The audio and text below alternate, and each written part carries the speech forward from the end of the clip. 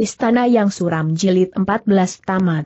Di dalam bayangan sebatang pohon perdu yang rimbun, Panon berhenti. Sejenak ia melihat ke halaman banjar itu, berkali-kali ia masih mendengar suara gelak tertawa, bahkan sambil mengerutkan keningnya, Panon mendengar mangkuk-mangkuk yang pecah. Agaknya orang-orang itu menjadi gila geram Panon. Ia membayangkan beberapa orang mabuk tuak di dalam banjar itu. Beberapa langkah Panon maju lagi, ia melihat penjaga regol berjalan hilir mudik. Dua orang desis Panon. Namun ia tidak segera dapat mengambil keputusan untuk melakukan sesuatu, ia masih harus melihat keadaan yang akan berkembang di Banjar itu.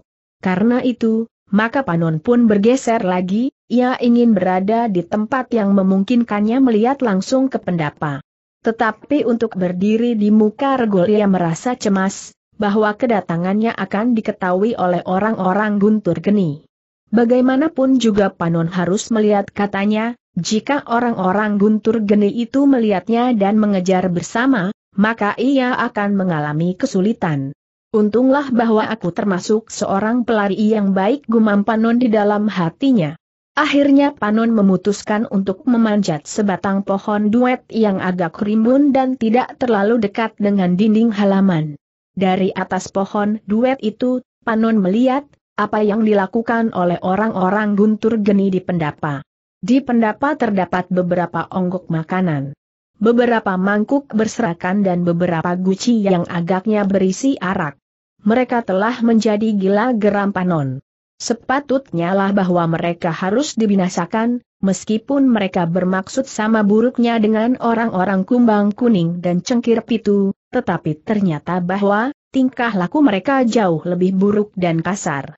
Akhirnya Panon tidak tahan lagi melihat tingkah laku mereka. Karena itu pun maka ia pun segera turun.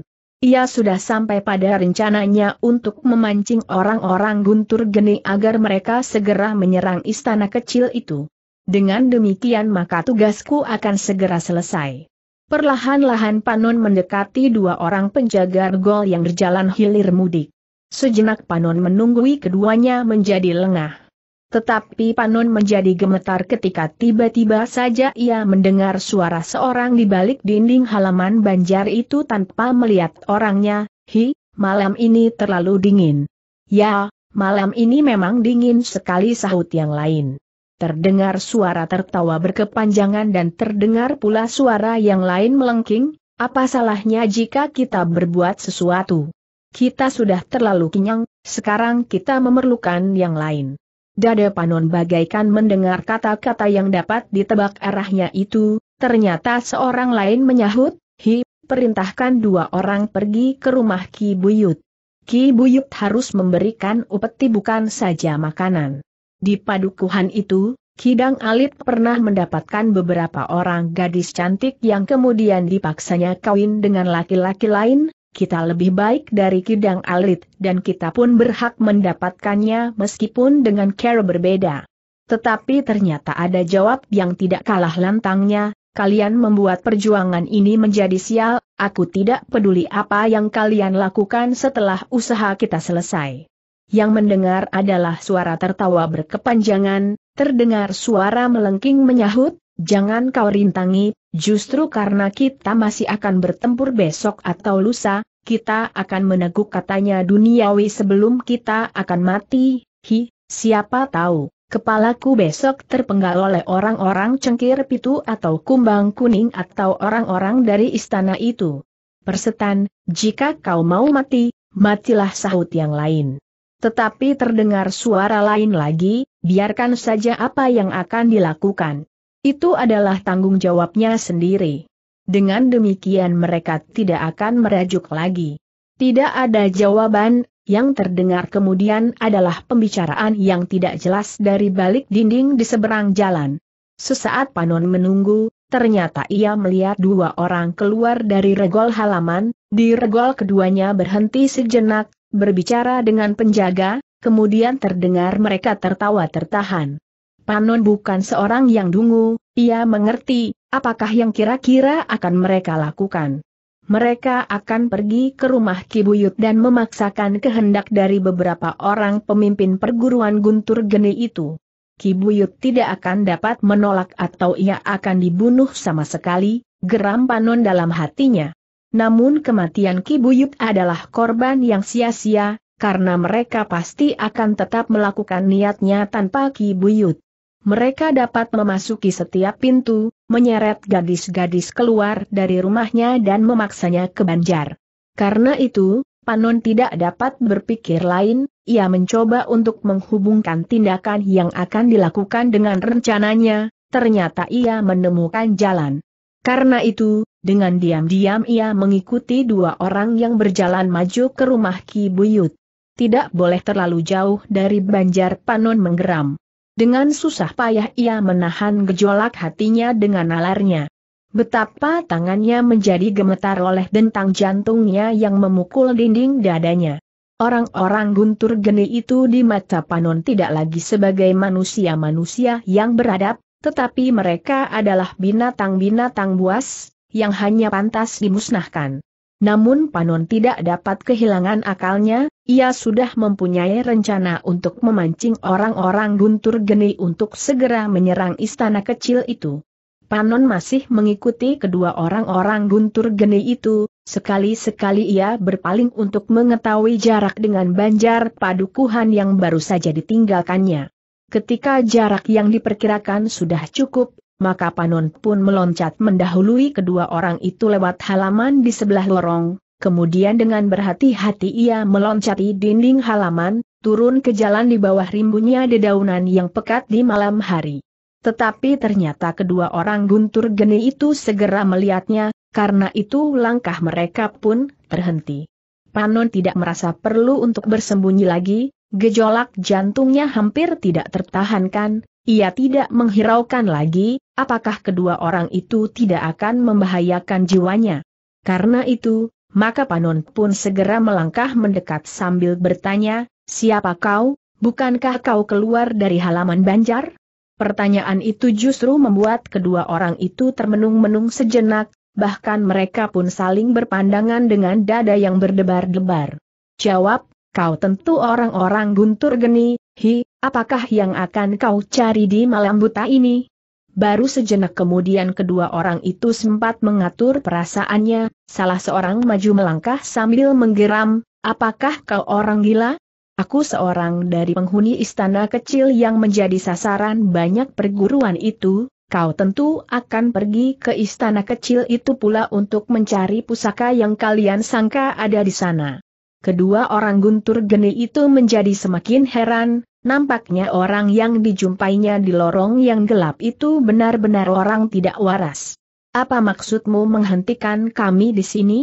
Tentu sudah jelas bagi kalian, kalian orang-orang guntur geni hanya pantas untuk dibunuh. Tingkah laku kalian benar-benar tidak menunjukkan peradaban manusia yang paling rendah sekalipun, kalian tidak lebih terhormat dari serigala yang mencari sisa-sisa bangkai bekas makanan seekor harimau yang memburu mangsanya dengan keberanian. Kau mengigau seperti orang gila, aku kira kau memang orang gila. Apa pun yang kau katakan, tetapi aku siap membunuh kalian.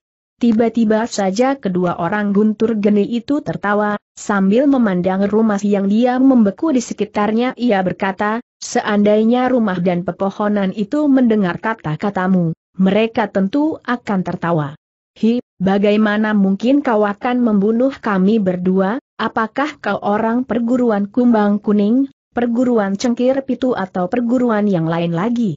Aku telah membunuh orang-orang cengkir pitu dan orang-orang kumbang kuning, aku juga telah membunuh orang-orang guntur geni beberapa waktu yang lalu. Wajah orang-orang guntur geni itu menegang, sejenak mereka saling berpandangan. Namun tiba-tiba saja salah seorang dari mereka tertawa, katanya, kau memang pandai menakut-nakuti orang tetapi jangan mencoba menakut-nakuti kami. Kami adalah orang-orang guntur geni yang sudah kenyang makan garamnya kehidupan di wajah-wajah kegelapan. Baik jawab Panon, marilah kita melihat bahwa kata-kataku bukan sekedar hanya menakut-nakuti saja. Kedua orang guntur geni itu bersiap ketika mereka melihat Panon bergeser setapak. Kita akan bertempur, kau berdua akan mati dan sebentar lagi seluruh pasukan guntur geni akan musnah, tidak seorang pun yang pantas untuk dibiarkan hidup. Bagiku, orang-orang cengkir pitu dan kumbang kuning masih terlalu baik dibanding orang-orang guntur geni. Wajah orang guntur geni itu menjadi merah padam, hanya karena gelapnya malam, maka wajah-wajah itu nampaknya tidak berubah. Aku tidak mempunyai waktu mendengarkan bualanmu anak gila. Bersiaplah untuk mati. Para pemimpin dari Guntur Geni itu tentu sudah menunggu aku. Mungkin mereka menjadi tidak sabar lagi, sehingga mereka akan langsung keluar dan memasuki rumah-rumah di sekitar sini. Panon menjadi gemetar menahan kemarahan yang memuncak, tetapi kemungkinan itu memang dapat terjadi, karena orang-orang Guntur Geni ternyata lebih buas dari serigala. Karena itu, tidak ada pilihan lain bagi Panon selain dengan secepatnya menyelesaikan kedua orang, kemudian memancing orang-orang guntur geni untuk datang ke istana kecil, sehingga mereka tidak sempat melakukan perbuatan terkutuk lebih lama lagi. Selangkah Panon maju lebih dekat lagi, ia mengerutkan keningnya ketika ia melihat kedua orang guntur geni itu menarik senjata mereka masing-masing. Kita akan bunuh anak ini secepatnya berkata salah seorang dari mereka lalu, dengan demikian kita akan cepat-cepat pergi ke rumah Ki Buyut. Panon tidak menyahut, tetapi ia pun telah mencabut senjatanya pula, sebuah pisau belati. Ia sama sekali tidak gentar meskipun kedua lawannya mempergunakan senjata panjang. Ketika orang guntur geni itu melangkah maju, di luar dugaan mereka, Panon telah meloncat menyerang dengan garangnya, pisau belatinya menyambar mendatar mengarah lambung. Tetapi orang-orang guntur geni itu pun sempat mengelak, hampir bersamaan mereka menyerang Panon dari dua arah yang berbeda. Panon sudah memperhitungkannya, ia meloncat menghindar, tetapi tangannya sempat terayun menggapai wajah lawannya dengan ujung pisau belatinya. Dengan demikian maka orang lawannya yang wajahnya hampir saja tergores senjata itu pun terpaksa menghindar dan mengurungkan serangannya, sementara yang lain telah kehilangan sasaran, karena Panon sempat menggeliat dan melenting beberapa langkah.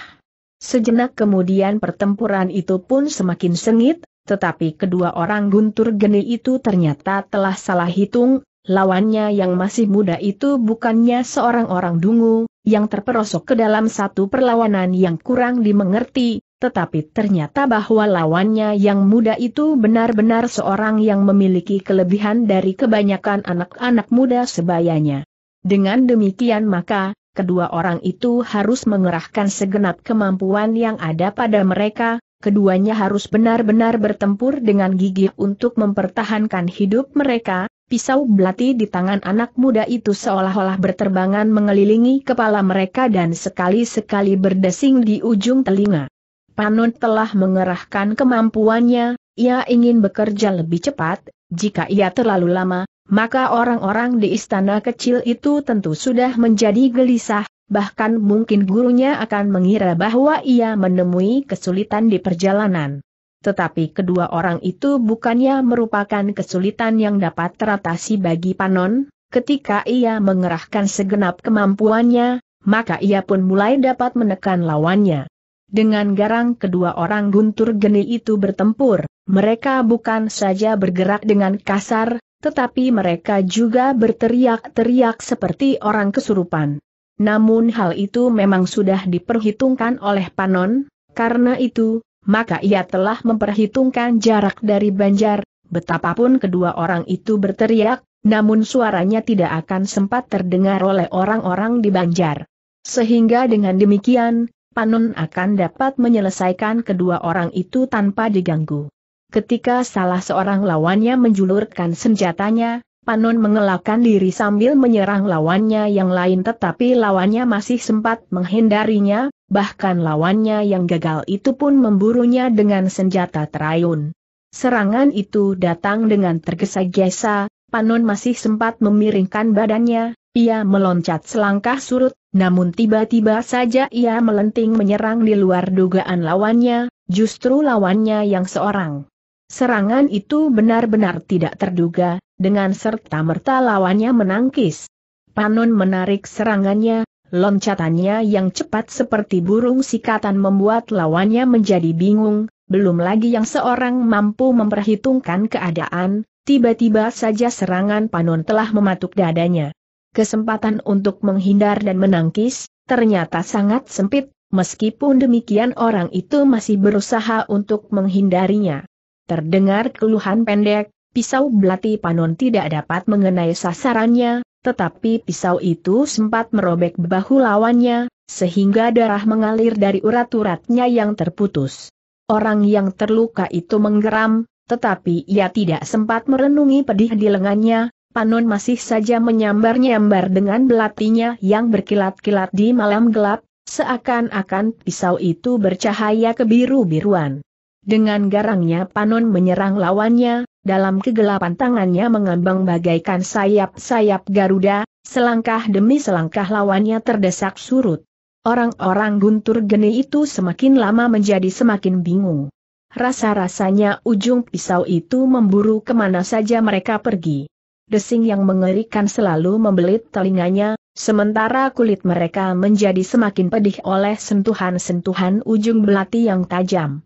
Sejenak kemudian, Luka-luka itu telah menyentuh yang seorang lagi, kemudian terulang dan terulang, sehingga keduanya bukan saja menjadi basah oleh keringat, tetapi darah mereka pun bagaikan mengalir segenap tubuh. Kedua orang guntur geni itu benar-benar tidak lagi mampu bertahan dengan pedangnya, karena itu, maka salah seorang segera bergumam, aku akan mempergunakan racun. Panon tertegun sejenak, hanya sekejap. Namun serangannya telah meluncur di udara di antara geramnya, aku tidak takut racun, aku mempunyai penawarnya, di istana kecil itu terdapat berbagai macam penawar racun, di antaranya adalah jalu sisik sasra. Kedua orang guntur geni itu menggeram, namun tubuh mereka semakin lama menjadi semakin lemah. Pada saat-saat yang paling gawat bagi keduanya, tiba-tiba saja Panon mengurangi tekanannya, bahkan kemudian ia berhenti menyerang. Selangkah ia meloncat mundur sambil berkata, kalian akan mati, aku juga memakai racun yang lebih kuat dari racun orang-orang guntur geni, tidak ada obat yang dapat mengobati luka-lukamu yang terkena belatiku yang beracun. Kedua orang itu termenung-menung, tubuh mereka semakin lama menjadi gemetar. Anak iblis. Panon tertawa, katanya, suara tidak akan terdengar dari Banjar, mungkin penduduk yang tinggal di sekitar sini telah menggigil ketakutan mendengar teriakanmu. Kedua orang itu tidak menyahut, dari tatapan mati mereka membayang kemarahan yang tiada taranya. Matilah dengan tenang, aku tidak akan mengganggu berkata Panon kemudian. Kedua orang itu berdiri termenung-menung, dengan tanpa berkedip mereka memandang Panon yang justru melangkah surut matilah, kalian memang harus mati. Orang-orang guntur geni harus mati seperti binatang buas yang tersesat di padukuhan. Panon tidak menunggu jawaban, ia pun kemudian meloncati dinding, dan mendarat di jalan dan hilang dalam kegelapan. Kedua orang itu berdiri termenung-menung, sejenak mereka saling berpandangan, namun kemudian mereka pun menyadari keadaannya, tubuh-tubuh mereka menjadi semakin lemah karena darah yang mengalir dari luka. Apalagi Panon telah mengatakan, bahwa pisaunya mengandung racun yang tajam. Kita kembali ke Banjar desis yang seorang dengan suara gemetar. Tetapi apakah kata mereka nanti, ketika mereka melihat kita seperti ini? Mungkin mereka akan memberikan kita penawar racun. Kedua orang itu termenung-menung sejenak, mereka ragu-ragu untuk kembali tanpa membawa hasil dari tugas yang dibebankan kepada mereka tetapi mereka tidak dapat mengingkari kenyataan yang terjadi atas diri mereka. Karena itu, maka keduanya pun kemudian kembali ke Banjar. Para pemimpin mereka tidak akan dapat menutup mata tentang keadaan mereka apalagi menurut anak muda yang mencegatnya, bahwa mereka telah terkena racun yang sangat kuat. Tertatih-tatih keduanya berusaha untuk kembali ke Banjar, sekali-sekali mereka harus berhenti, bersandar pada dinding sebelah jalan. Di luar sepengetahuan mereka, ternyata Panon masih mengikuti mereka. Ia hampir kehilangan kesabaran, ketika kedua orang itu berjalan terlalu lamban. Namun ia harus menunggu, betapapun dadanya bergejolak oleh kemarahan yang bagaikan tiada tertahan. Rasa-rasanya ia ingin memusnahkan orang-orang guntur geni yang menurut pengamatannya lebih buas dari serigala itu. Namun ia pun masih dibayangi oleh akal sehat, sehingga ia harus melihat kenyataan bahwa orang-orang guntur geni membawa kekuatan yang sangat besar. Karena itu, rencananya untuk memancing mereka ke istana kecil itulah yang akan dilaksanakan dengan sebaik-baiknya. Beberapa saat kemudian, kedua orang yang sudah terluka itu melangkah semakin dekat dengan Banjar. Para penjaga gol sudah nampak berjalan hilir mudik, bahkan sejenak kemudian salah seorang dari kedua penjaga gol itu sudah melihat dua orang berjalan tertatih-tatih ke arah mereka. Siapa di sana? Kedua orang itu melangkah semakin dekat. Siapa kalian? Hi teriak penjaga itu. Aku, aku suaranya terputus-putus. Kedua orang itu menjadi curiga, suara itu pernah didengarnya. Tetapi suara itu terdengar gemetar dan putus-putus. Karena itu kedua penjaga telah melangkah mendekati kedua orang yang berjalan tertatih-tatih.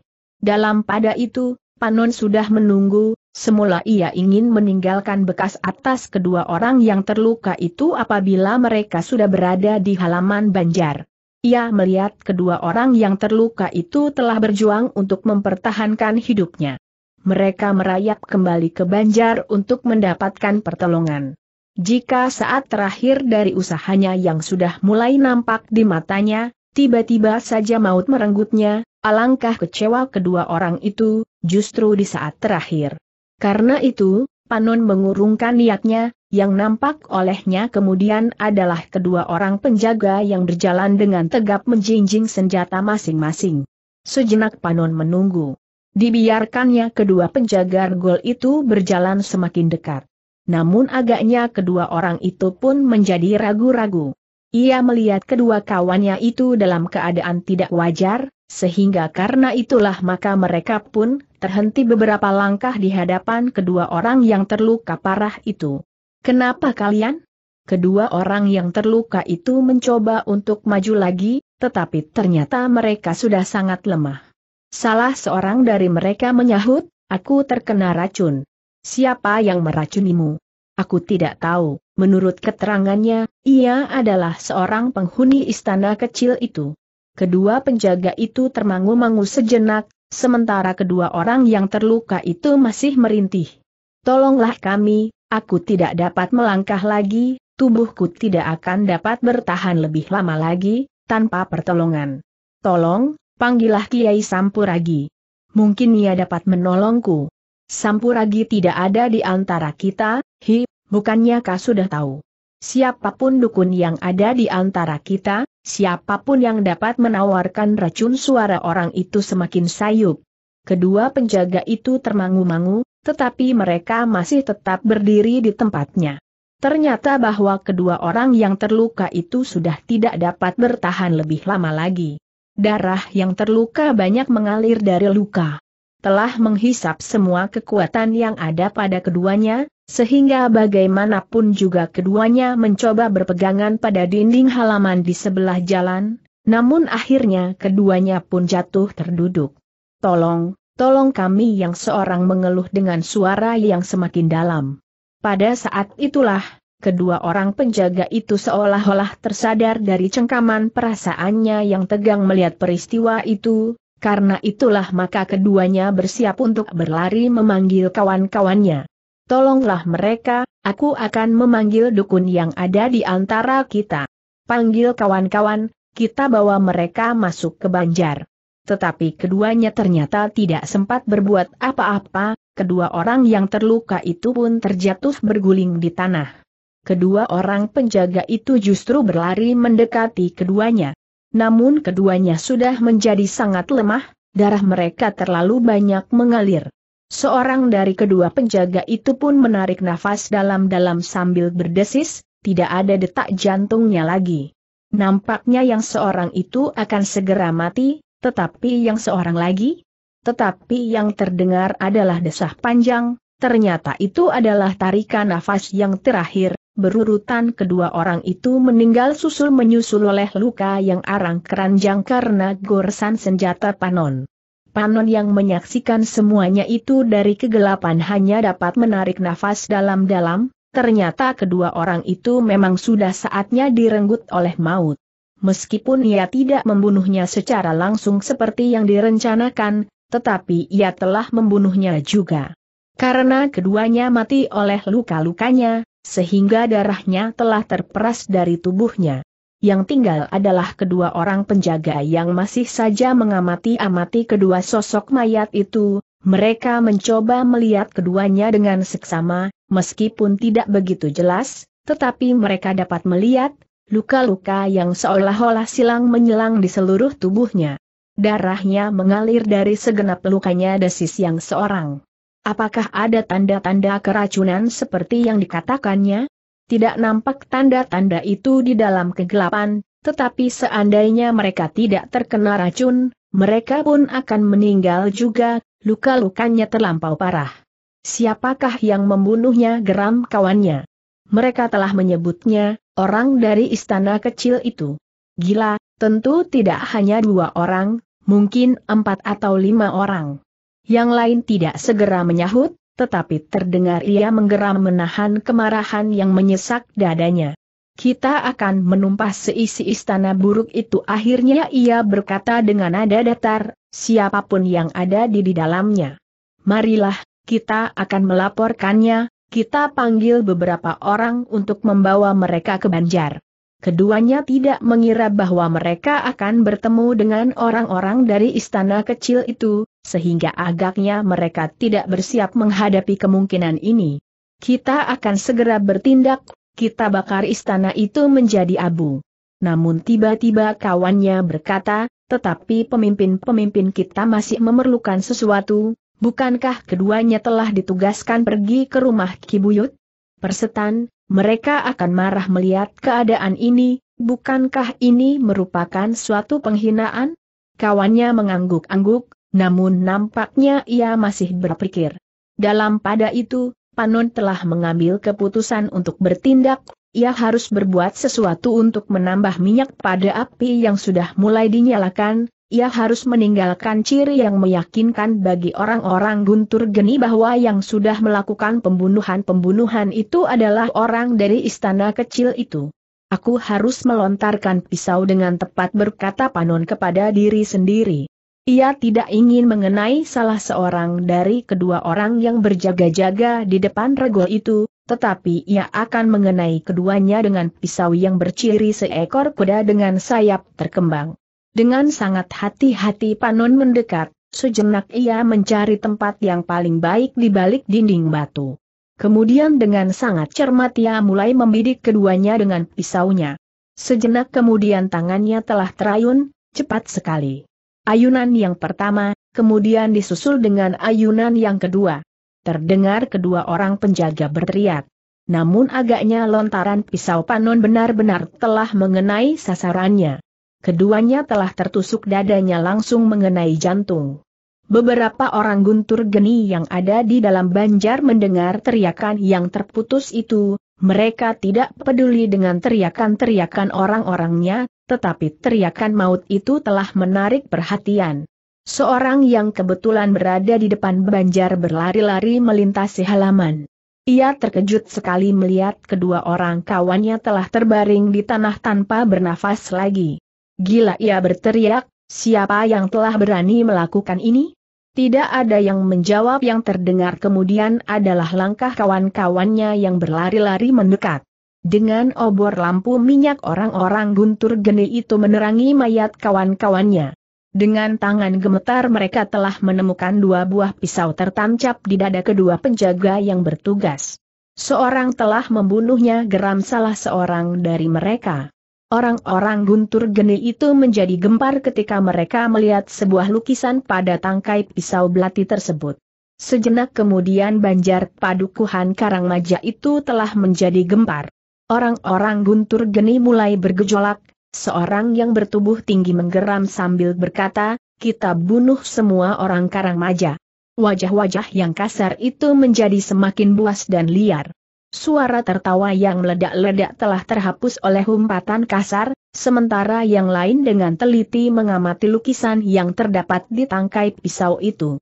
Seekor kuda terbang desis seorang di antara mereka yang mengerumuni mayat itu. Hi tiba-tiba seorang menyibaki kawan-kawannya, apa katamu? Orang yang mengamati pisau itu mengulangi, di tangkai pisau ini diukir lukisan seekor kuda dengan sayap yang terkembang. Pangeran Kuda Narpada, dari mana kau dapatkan pisau itu? Pisau ini tertancap di dada mayat ini. Orang yang tertarik dengan pisau itu adalah Kiai Param Sanggit, dan sekarang ia menjadi tegang, kemudian ia berteriak, berikan pisau itu kepadaku. Dengan tegang pisau itu pun diserahkan kepada Kiai Param Sanggit yang menerimanya dengan tangan gemetar. Namun ia benar-benar melihat goresan seekor kuda dengan sayap yang terkembang. Gila, ini benar-benar gila. Dan aku tidak percaya kalau yang melakukan adalah Pangeran Kuda Narpada.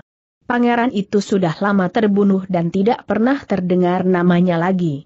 Seorang yang bertubuh pendek mendekatinya, dengan suara yang lirih ia bertanya, kenapa kau menjadi gemetar? Lihat sahut Kiai Param Sanggit sambil menyerahkan pisau itu. Kau cepat menjadi cemas, setiap orang dapat membuat goresan semacam ini, aku pun bisa. Tetapi makna dari lukisan ini adalah seorang.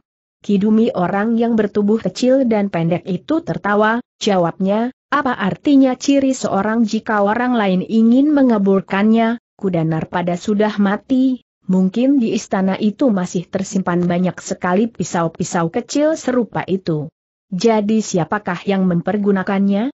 Siapa saja yang ada di istana itu, kuda rupaka, kidang alit, tikus piti atau siapa lagi? Kau memang terlalu sombong seorang yang bertubuh tinggi raksasa menyahut dari kegelapan. Kidumi berpaling, sementara orang yang tinggi besar itu masih meneruskan, tubuhmu yang kecil kerdil itu telah membuat jiwamu bergejolak untuk membuat imbangan atas kekecilan tubuhmu. Tetapi kau jangan menganggap bahwa di halaman istana tidak ada orang yang mampu memutar lehermu. Kidumi tertawa, jawabnya, justru kekerdilan tubuhku inilah bekal yang paling berarti bagi ilmuku, dengan tubuh kecil dan pendek, maka sulit bagi seorang untuk menyentuh dan apalagi menangkap aku. Tetapi yang dapat kau lakukan atas lawan-lawanmu hanyalah sekedar berlari-larian tanpa berbuat sesuatu.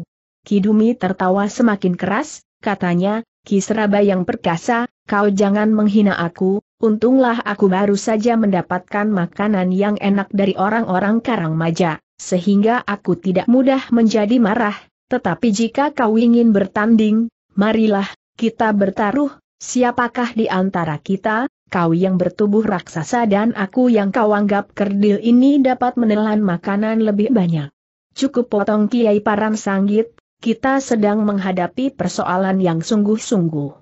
Bukan sekedar kelakar anak-anak gila seperti kalian. Kisraba menarik nafas dalam-dalam, jawabnya, jangan cepat marah Kiai. Aku tahu persoalan yang kita hadapi memang persoalan yang gawat.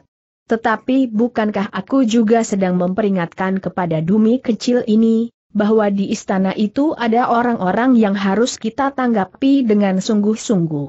Kidumi lah yang masih tertawa, katanya, orang-orang seperti Kiai Paran Sanggit tentu akan cepat menjadi tua tetapi baiklah kita akan mempersoalkan pisau-pisau itu dengan sungguh-sungguh. Pisau itu tentu ada hubungannya dengan Pangeran Kuda Narpada, Begitu pendapatmu.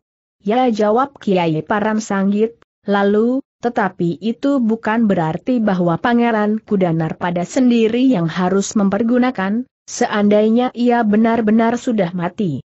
Tetapi yang telah membunuh kedua pengawal itu tentu orang-orang yang datang dari istana kecil itu, bukan orang Karangmaja. Aku yakin, orang-orang Karangmaja tidak akan ada yang berani melakukannya. Ingat, bahwa di dalam istana itu dijumpai orang-orang dari cengkir pitu dan kumbang kuning. Aku sudah tahu seorang yang lain memotong. Seorang yang sudah lanjut usia. Punggungnya sudah agak bungkuk. Ia berdiri dan berpegangan sebuah tongkat yang panjang berkepala ular yang terbuat dari baja dengan lidahnya terjulur, katanya kemudian, ketika kau minta aku ikut serta dalam pasukanmu, kau sudah mengatakan bahwa kita akan melawan orang-orang kumbang kuning dan cengkir pitu tetapi pisau itu bukan ciri orang-orang kumbang kuning dan cengkir pitu. Apakah tidak mungkin ada pihak lain yang ikut serta terlibat dalam perebutan ini? Jangan mempersulit jalan pikiranmu, orang-orang kumbang kuning dan cengkir pitu telah menemukan pisau itu di istana mereka mempergunakannya untuk membunuh kedua pengawal itu sahut Kiai Paran Sanggit, lalu, sekarang kita harus berbuat sesuatu, ini adalah tantangan, lebih dari itu, ini adalah satu penghinaan. Kidumi masih saja tertawa, katanya, jangan meradang seperti anak-anak, kita datang ke sini untuk bertempur, kau telah minta kepadaku agar aku membantumu merampas pasukan yang ada di istana itu, karena itu, kemungkinan-kemungkinan serupa ini sudah aku pikirkan akan terjadi. Wajah Kiai Paran Sanggit yang tegang masih saja menegang, dengan lantang ia berkata, kita akan memasuki istana sekarang juga. Kisraba mengangguk-angguk, katanya, kapan saja aku sudah bersedia. Aku memang berharap bahwa Guntur Geni akan mendapatkan pasukan yang sedang diperebutkan itu jika kemudian ternyata dari pasukan itu dapat diketahui pasukan-pasukan yang lain dan kemudian dicari kelengkapannya di gedung perbendaharaan, maka Guntur Geni akan mendapatkan wahyu keraton. Hi, siapakah kelak yang akan menjadi raja, jika wahyu itu tiba di perguruan Guntur Geni? Kiai Paran Sanggit adalah orang yang memiliki syarat untuk menerima wahyu itu potong Kiai Keboander, orang tua yang bongkok, yang sering disebut juga Kiai Bongkok dari Gunung Gamping, aku percaya bahwa di dalam susunan silsilahnya, ia adalah keturunan Prabu Kertajaya. Nah, itulah sebabnya aku bersedia ikut bersamanya. Tetapi darah keturunan itu, tidak seorang akan dapat menerima wahyu keraton. Kiai melupakan Kenarok, anak petani miskin itu teriak Kidumi tiba-tiba, aku pun dapat menjadi sarang wahyu keraton jika memang itulah yang harus terjadi, dan aku memiliki syarat yang lengkap. Kenaro adalah putra Dewa Brahma teriak Kisraba. Cukup Kiai Paran Sanggit memotong, kita tidak sedang membicarakan keturunan. Kita menghadapi orang-orang kumbang kuning dan cengkir pitu. Meskipun aku yakin bahwa mereka akan saling bertempur, namun menghadapi kita, mereka agaknya telah mempersatukan diri.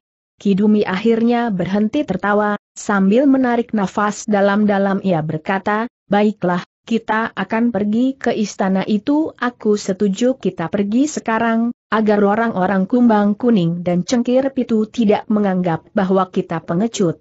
Kisraba mengangguk-angguk, sedang Ki Keboander berkata, tetapi jangan sekedar diburu oleh kemarahan hati, kita akan menyerang sekarang dengan sadar sepenuhnya, bahwa kita akan bertempur melawan orang-orang yang mempunyai nama. Selebihnya kita harus menahan diri agar kita masing-masing tidak menjadi tamak dan menghendaki pasukan yang ada di istana itu bagi diri kita sendiri, maksudku, kita masing-masing. Kiai Paran Sanggit mengerutkan keningnya, ia melihat sorot metu yang aneh di wajah Ki Keboander, namun Kiai Paran Sanggit tidak mencemaskannya, ia kenal orang tua itu dengan baik apalagi ia membawa murid-muridnya lengkap jika seorang dari kawannya akan berkhianat. Kisraba menarik nafas dalam-dalam, tetapi ia tidak menyahut, Kidumilah yang kemudian berkata, kita bersiap sekarang, kita akan pergi ke istana kecil itu, kita akan menumpas semua orang yang ada di dalamnya, siapa pun mereka, kemudian kita akan menunggu hadiah yang akan diberikan oleh Kiai Paran Sanggit kepada kita tanpa menghiraukan apakah pasukan itu akan dapat membuatnya menjadi raja seperti moyangnya, Maharaja Kediri atau Singasari atau mana pun juga, kita pun tidak akan bertanya, kenapa Kiai Sekar Pucang yang telah membebaskan dirinya dari peredaran waktu itu tidak ikut serta bersama kita sekarang. Ia harus mengurung diri jawab Ki Keboander, karena meskipun ia dapat membebaskan diri dari perjalanan waktu, tetapi ia masih belum dapat membebaskan diri dari kematian, itulah agaknya yang sedang dicapainya sekarang. Pembicaraan ini selalu saja berbelok potong Kiai Paran Sanggit, kita akan bersiap sekarang, dan kita akan menyerang istana itu. Beberapa orang yang lain saling berpandangan sejenak, namun mereka pun kemudian mengikutinya pula, sementara beberapa orang telah mengangkat mayat kedua kawannya yang terbaring dan meletakkannya di pendapa. Sejenak kemudian, Kiai Paran Sanggit dan kawan-kawannya telah siap dengan kudanya masing-masing, dengan lantang Kiai Paran Sanggit berteriak, kita semuanya akan pergi, tidak ada seorang pun yang tinggal. Kidumi menahan senyumnya, katanya berbisik di telinga Ki Seraba, buat apa tinggal di Banjar jika kita sudah berada di padukuhan ini? Kata-kata tidak ditujukan kepada kita, tetapi kepada murid-muridnya yang sebagian besar adalah pengecut. Kidumi tertawa, tetapi ia tidak menjawab. Sejenak kemudian, maka orang-orang guntur geni itu telah siap. Mereka sudah bertekad untuk menghancurkan isi istana kecil itu, siapa pun yang ada di dalamnya. Kemudian merampas pusaka yang tersimpan di istana itu. Setelah semuanya siap, maka sesaat kemudian kuda-kuda itu pun telah berderap di sepanjang jalan padukuhan. Suaranya telah mengejutkan orang-orang yang telah tidur. Tetapi beberapa orang telah mengangkat kepalanya di pembaringan, namun mereka pun menjadi berdebar dan kembali berbaring sambil menutup seluruh tubuhnya dengan selimut kain panjangnya. Kibuyut pun mendengar derap kaki kuda itu, seolah-olah debar jantungnya sendiri. Ia menjadi cemas, bahwa kedua anak muda yang telah singgah di rumahnya mengalami kesulitan dan tertangkap, atau orang-orang berkuda itu sedang mengejarnya. Sejenak Kibuyut termangu-mangu, ia meletakkan kepalanya lagi di pembaringannya, tetapi ia tidak dapat memejamkan matanya. Apa yang dapat aku lakukan pertanyaan itu telah mengganggunya. Tiba-tiba saja Ki Buyut meloncat bangun. Dirabanya senjatanya yang disimpannya di bawah tikar. Kemudian dengan dada yang berdebar-debar ia keluar dari biliknya. Aku harus memberitahukan kepada isi istana itu, mungkin akan ada bencana yang menimpa pada Raden Kuda Rupaka dan Panon bisiknya di telinga anak muda yang tidur di rumahnya. Ki Buyut anak muda itu mencoba mencegahnya, itu berbahaya sekali. Beberapa hari yang lalu aku juga melakukan sesuatu yang sangat berbahaya, tetapi aku tetapi hidup, namun jika harus mati sekarang, aku sudah berterima kasih, bahwa umurku sudah bertambah beberapa hari sejak kematian yang seharusnya sudah menerkam aku jawab Ki Buyut. Anak muda itu tidak dapat mencegahnya lagi, ia hanya dapat menahan nafas ketika ia melihat Ki Buyut meninggalkan rumah pintu butulan dan hilang di kegelapan. Seperti yang pernah dilakukan, Ki Buyut berjalan menuju ke istana kecil itu tanpa perasaan takut. Ia merasa mempunyai kewajiban untuk memberitahukan, bahwa mungkin sekali telah terjadi sesuatu dengan anak muda yang telah berada di padukuhan. Mudah-mudahan aku tidak terlalu lambat. Kuda-kuda itu sudah hilang dan suaranya tidak terdengar lagi. Mungkin mereka telah menangkap kedua anak muda itu, atau mungkin mereka akan menyerang istana kecil itu, sementara penghuni-penghuninya sedang tidur lelap katanya kepada diri sendiri. Di luar sadarnya Ki Buyut telah berlari-lari kecil. Ia sama sekali tidak menghiraukan apa yang akan mungkin terjadi atasnya.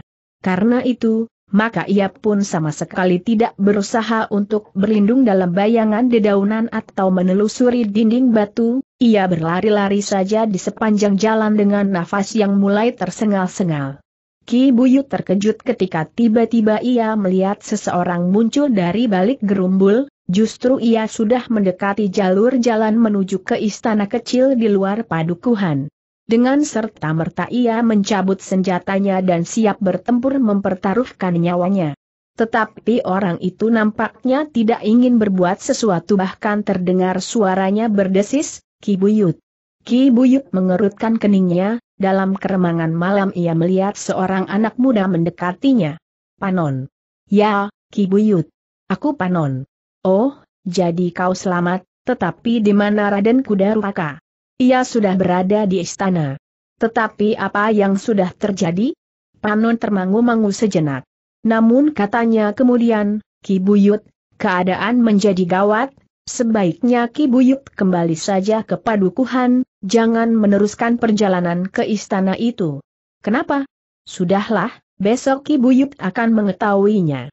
Ki Buyut termangu-mangu sejenak, namun Panon mendesaknya, Ki Buyut harus mendengarkan pengamatanku, orang-orang Guntur Geni telah menyerang istana kecil itu, tetapi Raden Kuda Rupaka telah mendahului aku dan memberitahukan kepada orang-orang yang berada di istana itu, bahwa mereka harus mempersiapkan diri. Ki Buyut termangu-mangu sejenak, namun Panon mendesaknya lagi, cepatlah sedikit Ki Buyut, aku akan segera pergi menyusul orang-orang berkuda itu. Ki Buyut masih tetap berdiri di tempatnya, namun kemudian ia bertanya, apakah orang-orang guntur geni itu tidak membahayakan kalian yang berada di istana? Mudah-mudahan tidak Ki Buyut. Kami akan berusaha menjaga diri sebaik-baiknya. Ki Buyut mengangguk-angguk, katanya, baiklah Panon, hati-hati, aku akan berdoa untuk keselamatan kalian yang berada di istana itu. Orang-orang Guntur Geni adalah orang-orang yang tidak mengenal peri kemanusiaan. Mereka memiliki permainan yang sangat berbahaya yang dapat membuat seorang bisu, buta, tuli dan lumpuh. Banyak di antara kami yang memiliki penawarnya Ki Buyut. Racun itu sama sekali tidak akan berarti apa-apa bagi kami. Ki Buyut mengerutkan keningnya, Kidang Alit, anak muda yang mengaku bernama Raden Kuda Rupaka, dan kini orang-orang lain yang berada di istana kecil itu, sama sekali tidak takut terhadap racun yang mungkin dibawa oleh orang-orang guntur geni. Ketika Panon mendesaknya sekali lagi, maka Ki Buyut pun kemudian minta diri dan meninggalkan Panon dalam gelapnya malam. Panon memandang langkah Ki Buyut menjauh dan hilang dalam kegelapan, sejenak Panon termangu-mangu, namun ia pun kemudian melangkah menuju istana kecil yang sudah tidak terlalu jauh lagi. Ia yakin bahwa kuda yang berderap di jalan berbatu-batu itu sudah sampai di muka pintu gerbang istana kecil yang suam itu. Sebenarnya lah, bahwa sekelompok orang berkuda telah berhenti di muka pintu gerbang. Seperti yang dikehendaki oleh Panon dan Raden Kuda Rupaka, yang telah memperbaiki pintu gerbang itu, maka orang-orang Guntur Geni tidak dapat langsung memasuki halaman. Mereka berhenti di muka pintu gerbang dan untuk beberapa saat menilai keadaan. Tetapi nampaknya halaman istana kecil itu tetap sepi, tidak ada seorang pun yang dapat dilihat dari luar pintu gerbang, melintas atau berjaga-jaga. Kiai Param Sanggit yang berada di paling depan termangu-mangu sejenak, ia sudah mendengar bahwa beberapa orang dari Cengkir Pitu dan Kumbang Kuning telah meninggalkan sarang mereka menuju ke pegunungan Sewu. Mereka tentu akan memasuki istana ini tiba-tiba Kiai Param Sanggit menggeram. Tetapi istana itu nampaknya sepi sekali sahut Kidumi. Apakah mereka sudah berhasil merampas pasukan itu dan meninggalkan istana kecil ini di Siski Seraba? Tentu tidak sahut Kiai Param Sanggit, tetapi agaknya mereka telah bersembunyi. Mereka ingin membunuh orang-orang kita satu demi satu, karena mereka silau melihat jumlah kita yang tentu jauh lebih besar dari mereka. Kita akan memasuki halaman ini berkata Ki Kebowander, apa pun yang sudah dan akan terjadi, adalah tanggung jawab kita semuanya, pembunuhan yang licik itu MG suatu tantangan dan sekaligus suatu penghinaan. Soalnya bukan sekedar upah yang akan kita terima dari Kiai Param Sanggit jika ia menemukan pasukan itu dan kemudian dengan kelengkapannya akan dapat meraih derajat dan pangkat tetapi kita juga bertanggung jawab kepada harga diri kita masing-masing sebagai orang yang paling dihormati di antara sesama di daerah kita masing-masing. Kidumi tertawa, katanya, kau juga merajuk seperti Kiai Param Sanggit, Kiai. Tetapi kau benar, aku pun merasa bahwa penghinaan ini tidak dapat dibiarkan tanpa hukuman. Juga seandainya Kudanar pada ada di istana itu, aku ingin membunuhnya sekali lagi jika benar ia bangkit dari kuburnya geram Kisraba. Namun tiba-tiba Kidumi berkata lantang, kita tidak hanya akan berbicara panjang, kita akan masuk dan kita akan menghancurkan semuanya, jika perlu istana kecil ini harus dibakar agar kita dapat menemukan pasukan yang sedang kita cari pasukan itu akan rusak dan kehilangan arti potong Ki Kebo Ander. Tidak, tempat penyimpanan pasukan itu tentu tidak akan terbakar. Dan kita akan cepat menemukannya, aku tidak pernah peduli bahwa penghuni-penghuni istana itu akan terbakar habis jawab Kidumi. Kau sudah putus asa, anak kerdil. Kita akan mulai dengan menguasai segala-galanya sahut Kisraba. Kidumi mengerutkan keningnya, tetapi sebelum ia menjawab, Kiai Paran Sanggit sudah mendahuluinya, kita akan menghancurkan regol ini terlebih dahulu, dan kita akan memasuki istana dan mengepungnya. Jangan hanya bicara, aku akan masuk sekarang geram Ki Kebo Ander. Seperti yang dikatakan, Ki Kebo Ander tidak menunggu lagi, ia pun kemudian meloncat dari kudanya, dan sekali hentak dengan kakinya, regol itu sudah berserakan. Ki Kebo Ander tidak naik ke punggung kudanya lagi, Bahkan dengan acuh tak acuh ia berjalan sambil menuntun kudanya memasuki halaman, seolah-olah tidak sedang berada di tempat yang berbahaya. Ternyata tidak seorang pun yang nampak di halaman, dan apalagi mengganggunya, dengan tenang ia sempat mengikat kendali kudanya pada sebatang pohon perdu di samping regol halaman kemudian berjalan melangkah sambil berteriak nyaring, hi, siapa yang ada di dalam, keluar. Jangan berteriak Kiai Paran Sanggit memotong, kita akan mengepung istana ini. Cepat, lakukanlah jawab Ki Kebo Ander. Sejenak kemudian derap kaki kuda pun menjadi gemuruh di halaman istana itu, beberapa ekor kuda berlari-lari melingkari halaman dan mengepung istana itu dari segala arah. Ketika mereka telah mendapat tempat yang sesuai dengan rencana mereka di seputar istana itu, maka mereka pun segera berloncatan turun pula dan mengikat kuda masing-masing pada batang-batang pohon yang ada di sekitar mereka. Sementara itu Kiai Paran Sanggit yang berada di halaman depan, sekali lagi berdesis, ketika Ki Kebo Ander akan berteriak. Namun agaknya Ki Kebo Ander tidak telaten lagi, sekali lagi ia berteriak, Hi, orang-orang kumbang kuning dan orang-orang cengkir pitu, Kidang Alit dan Raden Kuda Rupaka atau siapa lagi yang ada di dalam, keluarlah. Kita akan bermain sejenak. Mungkin hanya sekedar bermain. Tetapi ternyata halaman istana itu masih sepi. Gila Kiai Paran Sanggit pun ternyata menjadi marah. Kalian orang-orang cengkir pitu dan kumbang kuning, cepatlah keluar. Kawanku sudah terlanjur berteriak, dan aku pun akan berteriak lebih keras, karena kalian telah membunuh orang-orang kami dengan licik dan pengecut.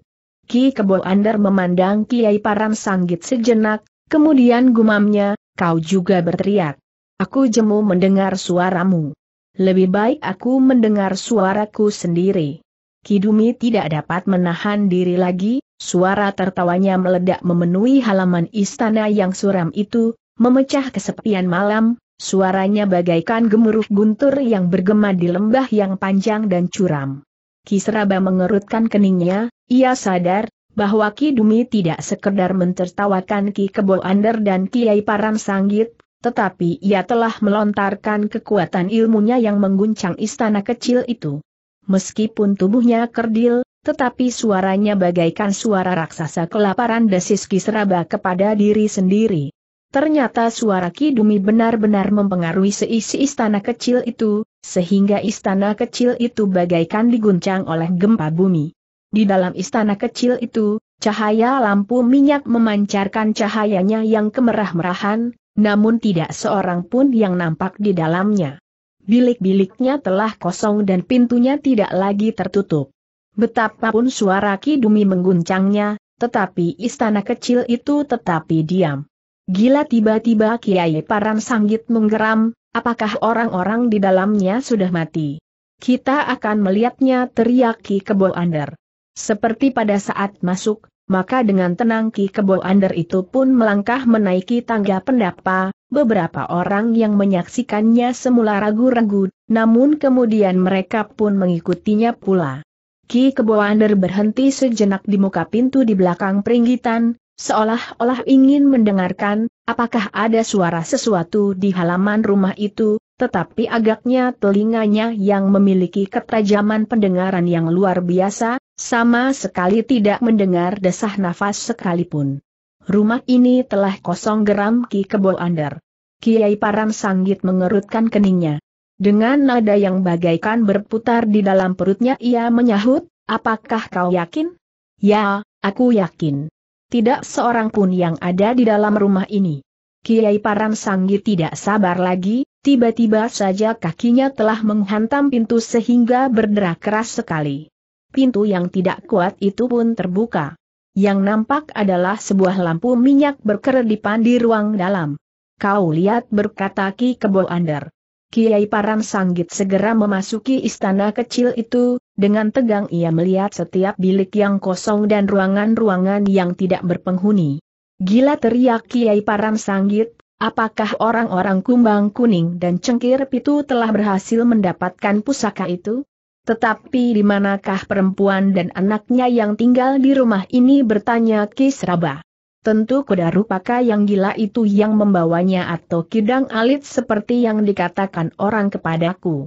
Ia adalah seorang anak muda yang menyukai gadis-gadis cantik, sehingga dari istana ini telah dibawa pusaka dan perempuan geram Kiai Paran Sanggit.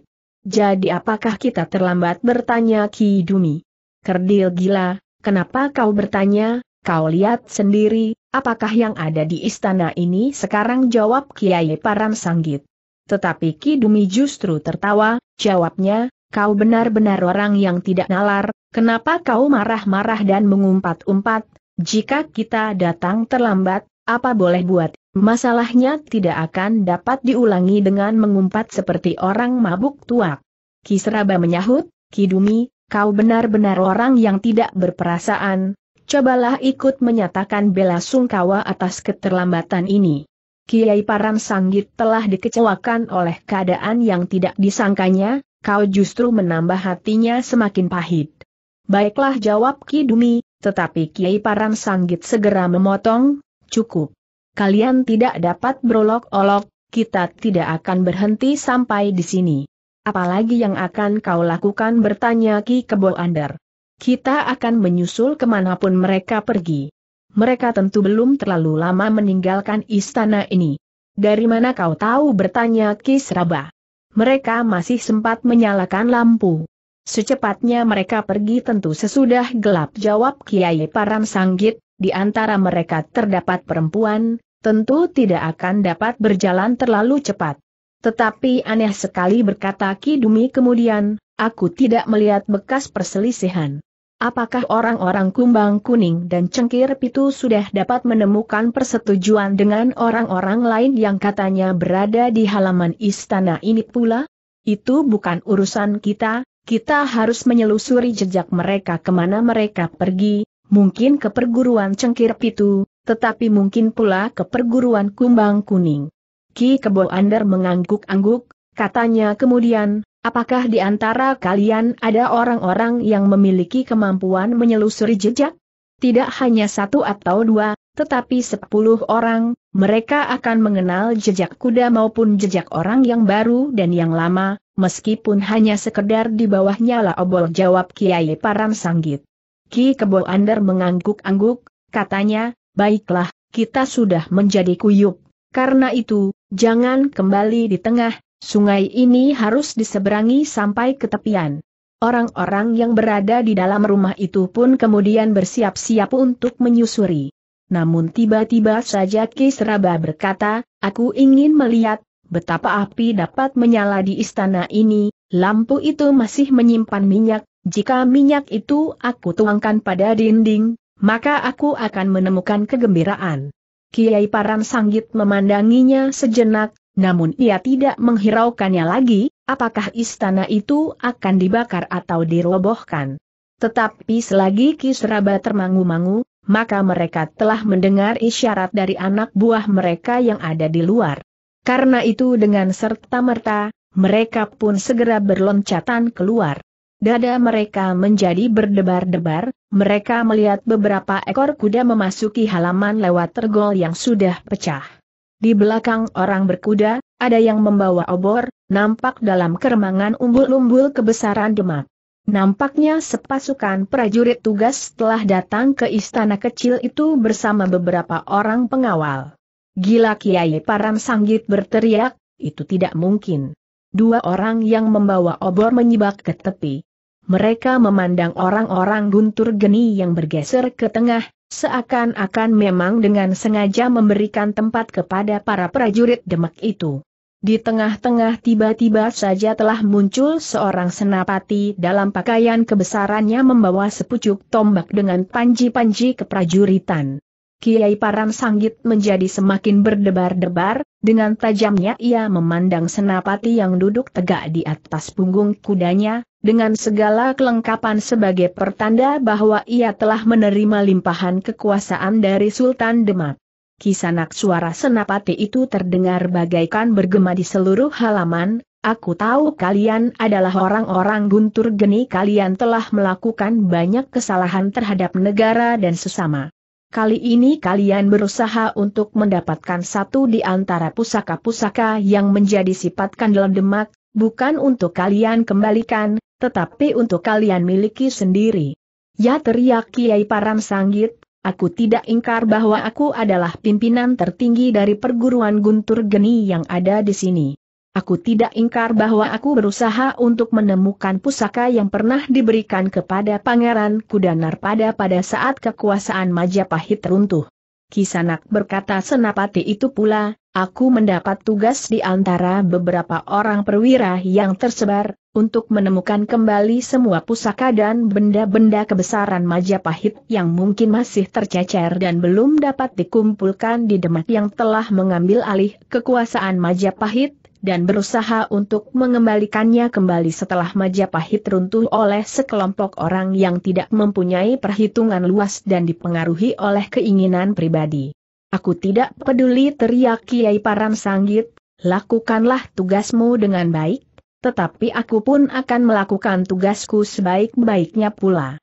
Sudah kisanak jawab senapati itu, aku sudah berhasil melaksanakan tugas yang dibebankan kepadaku, aku telah menemukan pusaka itu dan telah aku kirim kembali ke Demak, mudah-mudahan perwira-perwira yang lain yang mendapatkan tugas yang berbeda, telah melaksanakannya pula seperti aku. Hi wajah Kiai Param Sanggit menjadi tegang. Dalam ketegangan itu, Tiba-tiba saja terdengar suara Kidumi tertawa, suaranya menggelegar gemuruh bagai guntur yang meledak di setiap rongga dada. Kiai Param Sanggit menyadari bahwa Kidumi mulai tidak sabar lagi.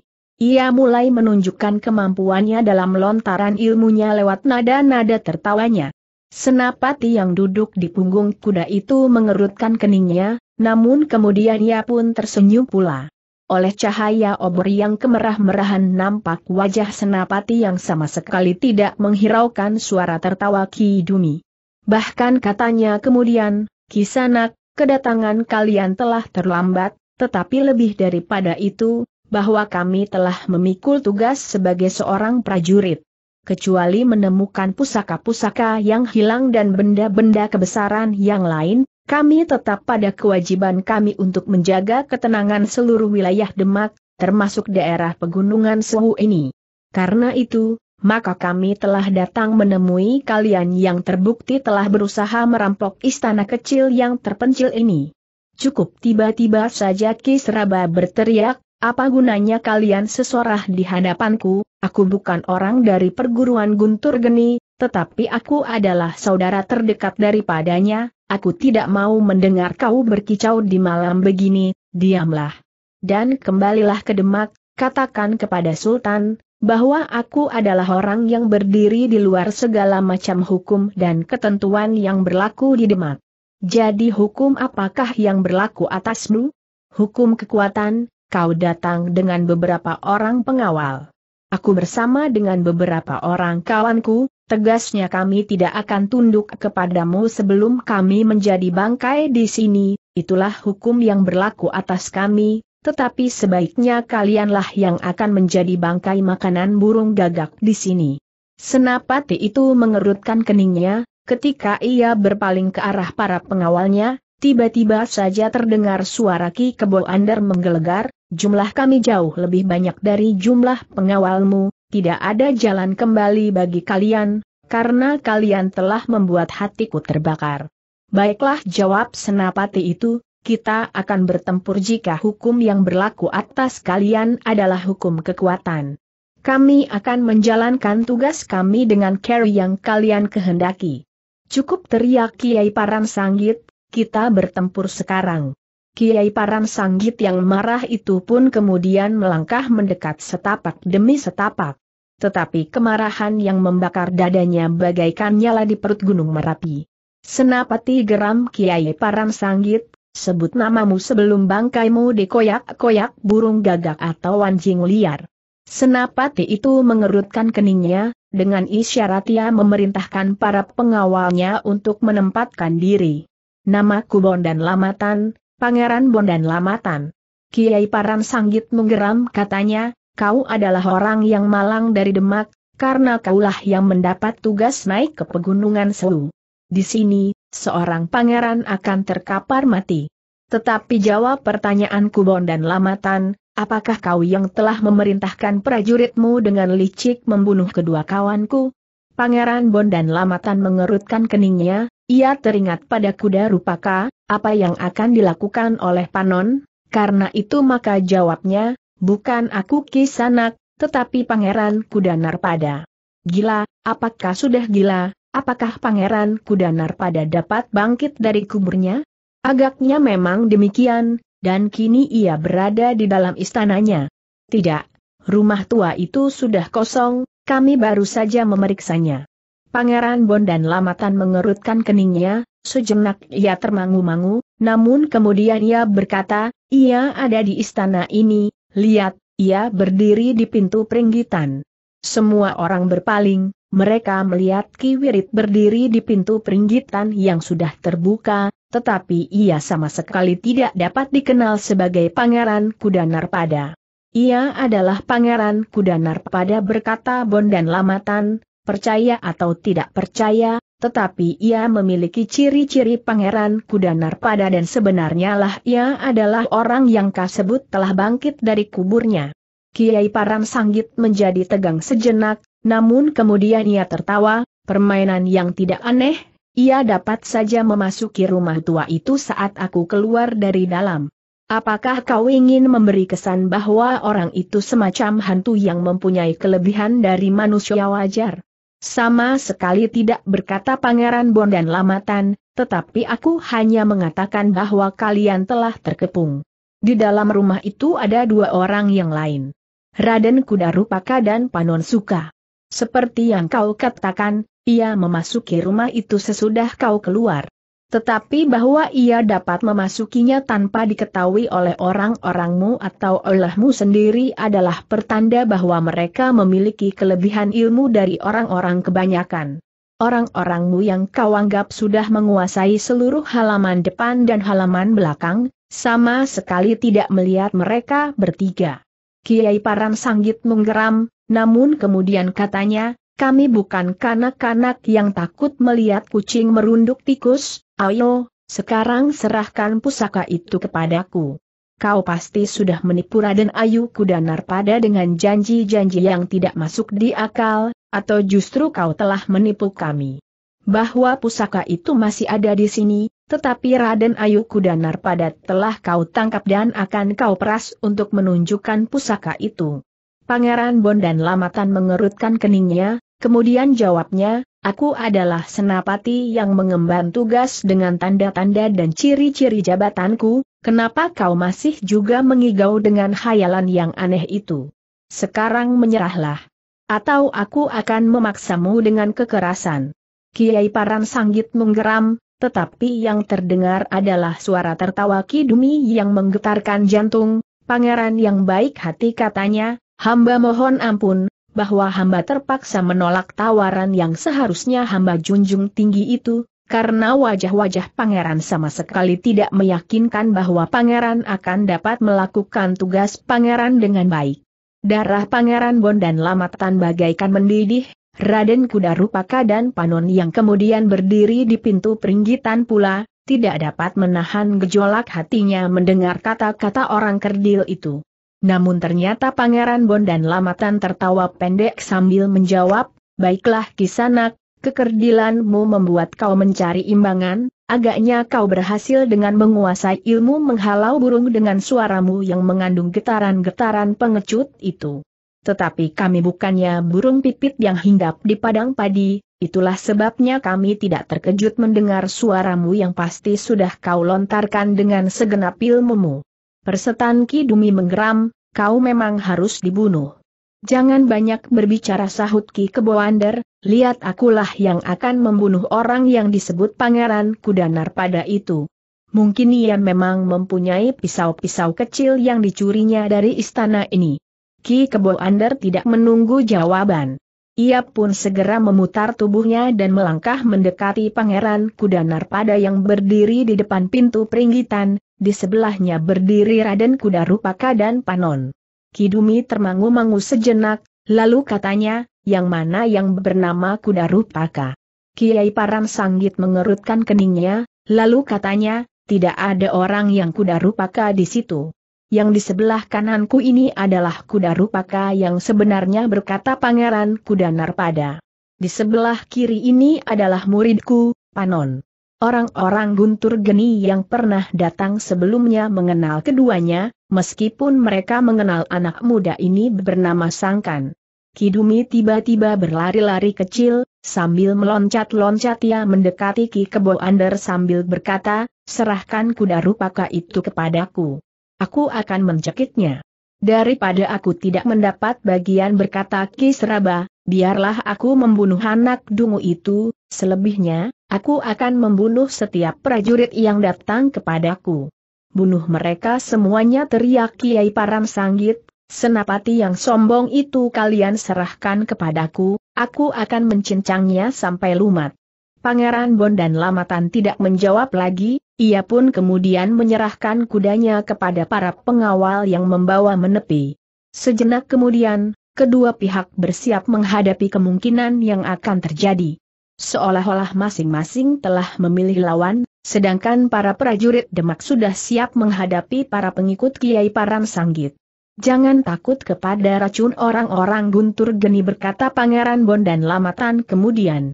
Persetan teriak Kiai Paran Sanggit. Tidak ada jawab namun mereka pun telah dikejutkan oleh pertempuran yang justru telah terjadi di sisi istana kecil itu. Apa yang telah terjadi teriak Kiai Paran Sanggit. Tidak segera terdengar jawaban, tetapi pertempuran itu semakin lama menjadi semakin sengit. Jangan terkejut berkata Pangeran Bon dan Lamatan, orang-orangmu telah disergap oleh para pengawal istana, sebelum aku datang bersama pasukanku dari Demak orang-orang kumbang kuning dan cengkir pitu, juga kalian orang-orang dari Guntur Geni yang telah mencoba merampas pusaka ini, tidak dapat menembus pertahanan mereka. Apalagi kini, aku datang bersama pasukanku. Gila geram Kiai Param Sanggit, aku juga tidak sendiri. Teng terdengar kemudian adalah teriakan Kiai Param Sanggit yang menggema di lembah-lembah pegunungan Sewu, bunuh semua orang yang berada di halaman istana ini, bakar istana ini menjadi abu, dan musnahkan semua sisa-sisanya rata dengan tanah. Sejenak kemudian, maka para murid dari Guntur Geni itu pun segera menyerang para prajurit Demak yang sudah siap menghadapi mereka. Dalam pada itu, Ki Kebo Ander telah berhadapan dengan Pangeran Kudanar pada yang sudah siap pula, sejenak mereka saling berpandangan, namun tiba-tiba terdengar Ki Kebo Andar berdesis, apakah benar kau pangeran kuda narpada, memang ada kesamaan dari sinar matamu yang menusuk jantung itu. Mana yang baik menurut pertimbanganmu Ki Kebo Andar? Sebenarnya kedatanganmu ke rumah ini memberikan pengharapan baru bagiku. Jika aku dapat bertemu muka dengan saudara yang satu ini, aku berharap bahwa aku dapat menggelitik perasaannya, karena kau sudah menempuh jalan yang salah. Siapa namamu Desiski Kebowander, kau tentu mempunyai nama lain seandainya kau mengaku Pangeran Kuda Narpada. Namaku Ki Wirit, aku adalah guru anak muda yang bernama Panon Suka, yang barangkali memang anak nakal. Ia telah menggunakan pisau-pisauku untuk membunuh orang-orang guntur geni yang berada di Regol Banjar. Tetapi aku tidak menyangka bahwa kesesatanmu sudah terlalu jauh, sehingga kau berada di antara orang-orang guntur geni. Wajah Ki Kebowander menjadi muram, tetapi sejenak kemudian terdengar giginya gemeretak. Jangan pedulikan aku memang ingin tahu, betapa tebal kulitmu, atau barangkali nyawamu memang rangkap. Tetapi jika kau akan mati sekali lagi, kau tentu tidak akan dapat bangkit dari kuburmu. Pangeran Kudanar pada tersenyum, sekilas dipandanginya Ki Dumi yang sudah berhadapan dengan Raden Kudarupaka dan Kisraba yang dengan tegang memandang Panon yang berdiri dengan gagahnya. Jadi kau yang telah membunuh kedua pengawal pintu gerbang Banjar itu, Hi bertanya Kisraba. Panon menarik nafas dalam-dalam. Kemudian kau menyelinap memasuki istana ini dari belakang, ya kan? Panon masih tetap diam. Kisraba yang kemudian merasa terhina oleh kediaman Panon berteriak, Hi, apakah kau tuli, atau bisu? Panon masih tetap diam tidak menyahut, namun karena itu, kesabaran Kisraba telah sampai ke puncaknya, sehingga tiba-tiba saja ia telah meloncat menyerang.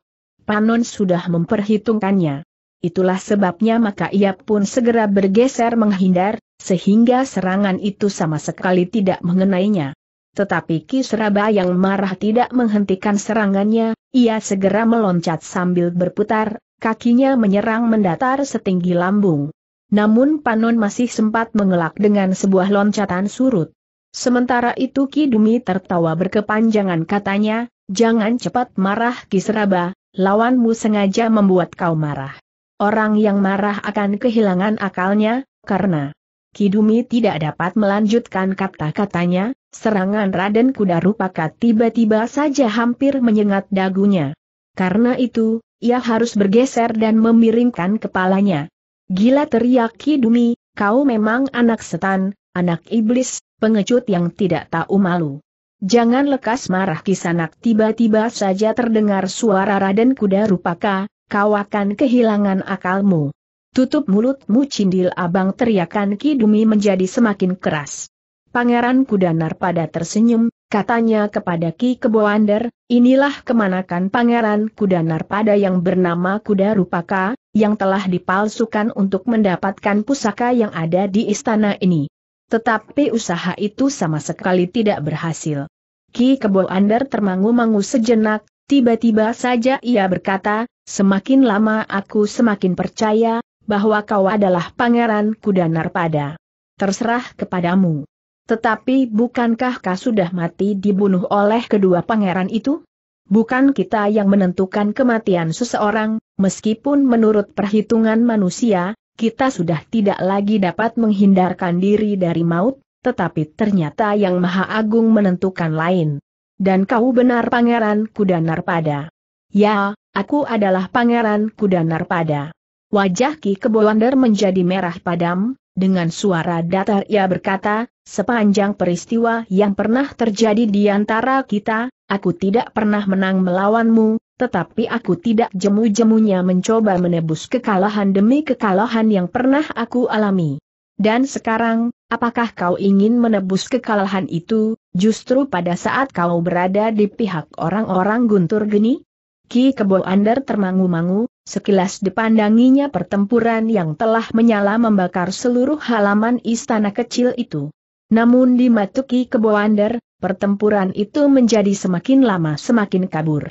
Yang nampak di matanya adalah peristiwa puluhan tahun yang lalu, peristiwa yang telah melibatkannya dalam perkelahian melawan Pangeran Kudanar pada, perkelahian yang telah lama terjadi.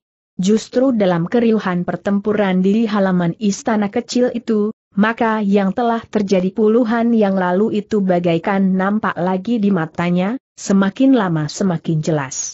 Kenapa kau hentikan aku di sini bertanya seorang anak muda yang duduk di atas punggung kudanya bersama beberapa orang pengawalnya.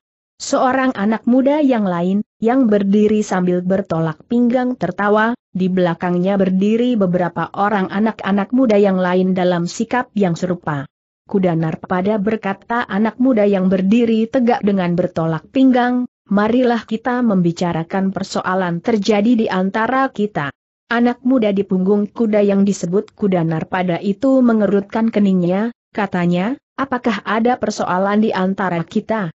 Kau gila, kau coba mengingkarinya, aku kira kau seorang laki-laki jantan, tetapi agaknya kau adalah seorang pengecut yang tidak kenal diri. Anak muda di punggung kuda itu mengerutkan keningnya, sejenak ia termangu-mangu, kemudian katanya, daripada aku harus berteka-teki, katakan. Apakah persoalan yang ada di antara kita itu? Anak muda yang berdiri sambil bertolak pinggang tiba-tiba saja tertawa, katanya, kuda narpada, kau menjadi ketakutan, hilalu katanya kepada kawan-kawannya yang berdiri di belakangnya, lihat, betapa pucat wajahnya, meskipun ia dikawal oleh beberapa orang pengawalnya, namun ia menjadi ketakutan. Kuda narpada yang menggeretakkan giginya, tetapi ia masih tetap menahan diri. Katakan, katakan kuda narpada menggeram. Baik, baik.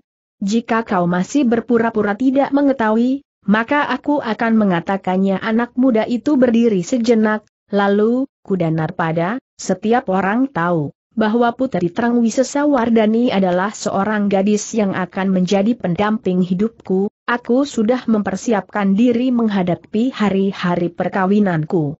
Meskipun tataran kebangsawananku kalah selapis dari Putri Terang Wisesawardani, tetapi hubunganku antara seorang perempuan tidak lagi dapat dipisahkan oleh tataran itu. Dan agaknya kau yang merasa dirimu dalam tataran yang sama, telah berusaha untuk menguasai gadis itu. Wajah kuda narpada menjadi merah padam, dengan suara datar ia berkata, jangan mengada-ada, aku kenal siapa kau sebenarnya.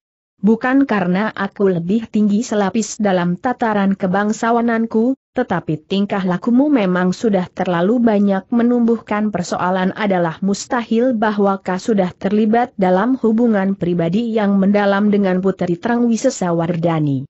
Putri itu adalah seorang gadis yang jarang sekali keluar dari istananya mustahil bahwa ia telah berkenalan dengan anak muda seperti kau. Kuda Narpada, kau jangan berpura-pura dungu, meskipun aku resminya seorang bangsawan dari garis keturunan yang berbeda-beda, tetapi setiap gadis di Majapahit selalu berusaha mengintip jika aku lewat. Kuda Narpada, aku hanya datang ke Majapahit sepekan sekali, bahkan lebih. Namun aku adalah anak muda yang paling dikenal di Majapahit, melampaui anak muda yang tinggal di kota raja ini. Mungkin kau benar, setiap gadis di kota raja ini mengenalmu, tetapi bukan karena mereka tertarik kepada pribadimu, kepada ketampananmu. Tetapi mereka tertarik kepada namamu yang sudah terlalu banyak dikenal orang, kau dengan lima atau enam orang kawanmu tidak mempunyai kesibukan lain kecuali menyusuri jalan-jalan sambil membuat tonar. Menakut-nakuti rakyat kecil, berkelahi dengan sesama anak jalanan, dan sekali-sekali namamu selalu dihubungkan dengan air mata gadis-gadis muda yang kehilangan kegadisannya. Omong kosong anak muda yang berdiri bertolak pinggang itu memotong, semuanya omong kosong. Jika kau tidak percaya, bertanyalah kepada Putri Terang Wisesawardani.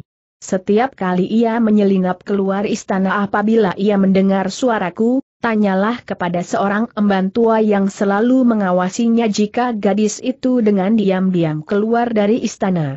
Wajah kuda narpada menjadi tegang, namun ia masih saja mencoba untuk menenangkan hatinya. Sayang katanya kemudian, aku tidak dapat mempercayaimu, aku lebih percaya kepada para penasehatku, kepada orang-orang tua kami yang telah merestui hubungan dengan Putri Terang Wisesawardani, dan kepada gadis itu sendiri. Tetapi anak muda yang bertolak pinggang itu tertawa berkepanjangan, katanya, itu adalah kebodohanmu yang paling menggelikan, kau kira bahwa gadis itu akan dengan terus terang mengatakan kepadamu bahwa ia mencintai aku? Jika cintanya mendalam dan jika ia sudah bertekad untuk hidup bersama dengan seorang laki-laki, maka sebagai seorang gadis dari keturunan kesatria, ia akan berterus terang, meskipun akan berakibat buruk sekalipun kuda narpada berhenti sejenak, lalu, nah, terhadap gadis yang demikian kau baru mempertaruhkan nyawamu untuk merebutnya, jika gadis itu bukan gadis yang menyerahkan segenap cintanya, dalam bayangan hidup atau mati, kenapa kau bersusah payah mempertaruhkan nyawamu? Siapa yang mempertaruhkan nyawa tiba-tiba saja anak muda itu bertanya. Kuda Narpada terkejut, sejenak ia termangu-mangu, sementara anak muda itu berkata terus. Aku tidak mempertaruhkan nyawaku sekarang ini. Tetapi aku menemuimu untuk minta agar kau batalkan niatmu untuk memperistri Putri Trangwisesa Wardani. Jika kau berkeberatan, maka kami akan menghajarmu sampai kau jera, itu saja. Kuda Narpada menjadi tegang, dengan suara berat ia berkata, sudah sering aku mendengar, kau membuat persoalan dengan anak-anak muda sebayamu, sekarang akulah yang menjadi sasaran. Tetapi baiklah aku akan melayanimu apa saja yang kau kehendaki agar kau tidak menyangka bahwa anak jalanan sajalah yang mampu menjaga diri dan nama baiknya dengan kekerasan, jika kau memang menghendaki agar kita berkelahi, sebaiknya kau tidak usah mencari banyak alasan dan menyinggung harga diri Putri Trangwisesa Wardani. Lebih baik kau katakan saja, bahwa kau ingin menggangguku dan menantangku berkelahi. Wajah anak muda itu menegang, belum pernah ia bertemu anak muda segarang kuda narpada, yang dalam hidupnya sehari-hari merupakan anak muda yang luruh agak pendiam, namun tiba-tiba ia kini dapat bersikap garang. Tetapi sejenak kemudian anak muda itu tertawa sambil berkata, bagus, marilah kita berkelahi, tempat ini cukup sepi kuda narpada yang telah turun dari kudanya bertanya dengan tenang, apakah yang kau kehendaki, apakah kita akan berkelahi seorang lawan seorang, atau kau akan membawa semua kawan-kawanmu serta dalam perkelahian yang ribut seperti yang sering kau lakukan di mana-mana? Persetan, geram anak muda itu, aku akan membuatmu cacat di wajahmu yang mulus itu, sehingga Putri Trangwisesa Wardani yang cantik itu tidak akan sudi menjadi istrimu, meskipun seandainya kau seorang pangeran pati di Majapahit. Apa pun yang akan kau lakukan terserahlah, tetapi kau belum menjawab pertanyaanku. Jika kau ingin berkelahi beramai-ramai, maka beberapa orang pengawalku yang jumlahnya hanya kira-kira separuh dari kawan-kawanmu itu akan berbuat terlalu banyak, karena tugas mereka memang untuk berkelahi sahut kuda narpada. Sekali lagi anak muda itu tercekat, ternyata pangeran kuda narpada telah mempergunakan istilah-istilah yang dapat menyentuh perasaan anak muda jalanan itu. Kuda narpada telah menyebut para pengawalnya sebagai orang-orang yang tugasnya memang untuk berkelahi. Namun sejenak kemudian terdengar anak muda itu menggeram, kita akan berkelahi seperti laki-laki, kau melawan aku, karena persoalannya memang menyangkut kau dan aku. Baiklah jawab kuda narpada tenang. Setelah menyerahkan kudanya kepada seorang pengawalnya, maka kuda narpada pun mempersiapkan dirinya, kepada para pengawalnya ia berpesan agar mereka tidak mencampuri persoalannya dengan anak muda itu. Sejenak kemudian keduanya telah bersiap, kedua anak muda itu nampaknya mempunyai kelebihan masing-masing, keduanya bertubuh sedang dengan sikap yang cepat cekatan. Hati-hatilah pangeran, sebenarnya lebih baik kau serahkan saja putri kepadaku. Kau akan aku bebaskan geram anak muda itu. Tetapi Kudanar pada menjawab, jika bukan kau, akulah yang mencarimu dan menantang kau untuk berkelahi. Jawab itu benar-benar telah membakar hati anak muda itu, karena itu maka tiba-tiba saja ia telah meloncat menyerang dengan garangnya. Tetapi kuda narpada pun telah bersiap menghadapi kemungkinan itu, sehingga ia pun sempat mengelak dan bahkan dengan tangkasnya ia pun telah menyerang lawannya pula. Perkelahian yang sengit tidak dapat dihindarkan lagi. Beberapa orang kawan anak muda itu segera mengerumuninya. Mereka berteriak-teriak dan mengacu-acukan tangannya. Para pengawal menambatkan kuda-kuda mereka pada pohon-pohon perdu di pinggir jalan. Meskipun kuda narpada telah memesan agar mereka tidak melibatkan diri, namun mereka merasa perlu untuk bersiap-siap menghadapi segala kemungkinan dari anak-anak muda jalanan yang nakal itu. Dugaan anak muda itu ternyata keliru, kuda narpada bukannya seorang bangsawan yang cengeng, yang hanya pandai menghias diri dan menyusuri jalan-jalan raya dengan kuda yang bagus, ternyata kuda narpada memiliki kemampuan yang tidak teratasi oleh lawannya. Setan alas geram anak muda itu, ia merasa bahwa ilmu yang diterimanya dari perguruannya telah cukup, namun menghadapi kuda narpada itu ia telah terdesak. Ketika tangannya terayun menghantam kening, Tiba-tiba saja terasa tangan itu bagaikan dihentakkan dengan kuatnya, agaknya kuda narpada berhasil menangkap tangannya yang terjulur. Anak muda itu tidak sempat berbuat banyak, ketika kuda narpada memutar tubuhnya sambil merendah, kemudian menarik tangan lawannya di atas pundaknya dan menghentakkannya kuat-kuat. Anak muda itu terlempar melalui pundak pangeran kuda narpada dan dengan kerasnya terbanting di tanah. Terasa punggungnya bagaikan patah, ketika ia meraba kepalanya, darah telah mengalir memerahi jari-jarinya.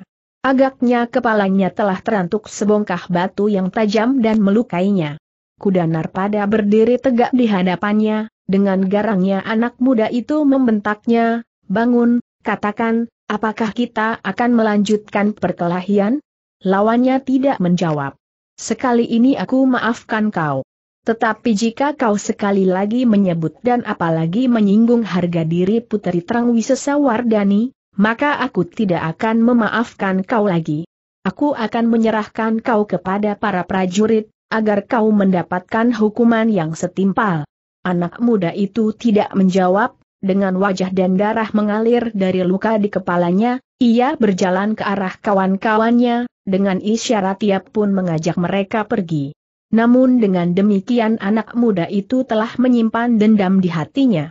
Ki Kebo Ander menggelengkan kepalanya, kenangan itu jelas nampak di angan-angannya, bahkan kemudian disusul dengan angan-angannya yang menyusuri jalan hidupnya.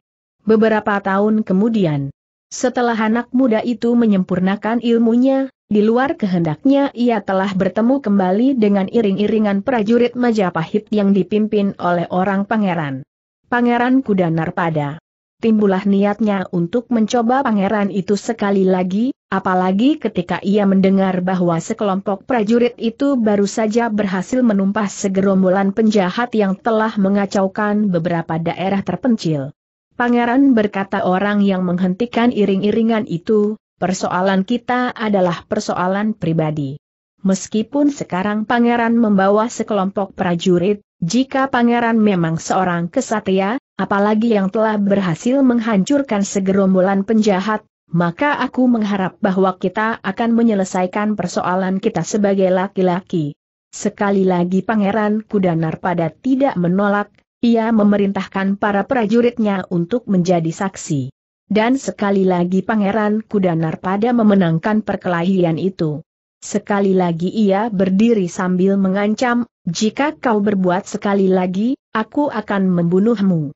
Tetapi ketika terjadi sekali lagi perkelahian di antara mereka, setelah sepuluh tahun kemudian, Pangeran Kudanar pada tidak membunuhnya juga, bahkan persoalan sudah berkembang semakin jauh.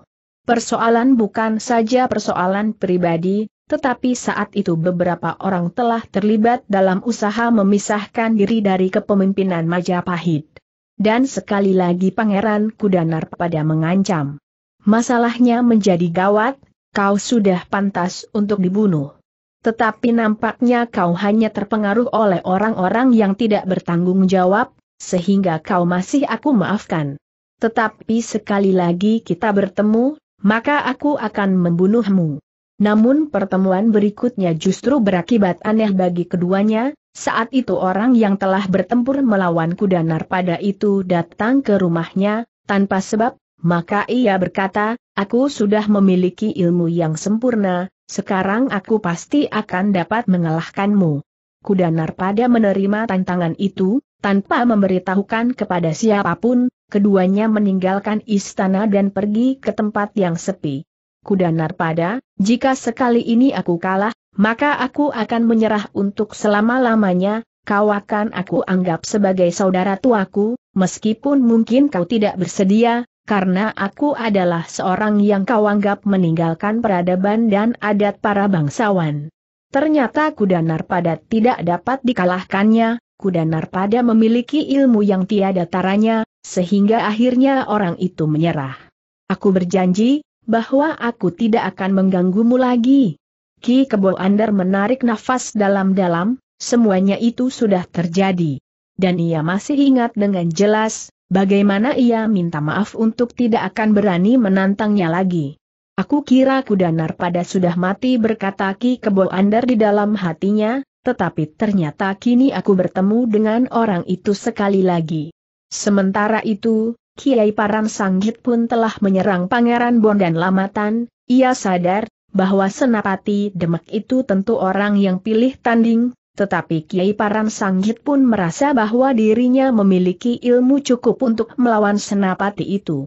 Sejenak kemudian, di seputar istana itu pun telah terjadi pertempuran sengit, beberapa orang telah terlibat dalam perkelahian melawan para prajurit tetapi beberapa orang di antara orang-orang guntur geni itu terkejut, bahwa ternyata mereka telah bertempur melawan orang yang memiliki ilmu yang tinggi.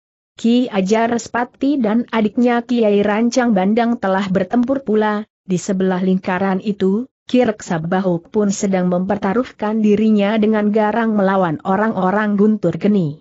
Hanya Pinten sajalah yang tidak nampak di pertempuran itu, ia berada beberapa puluh langkah dari istana, menunggui bibinya, Raden Ayu Kudanarpada dan Inten Prawesti. Apakah kita akan dapat bertahan dari orang-orang guntur geni itu? Raksi bertanya bibinya.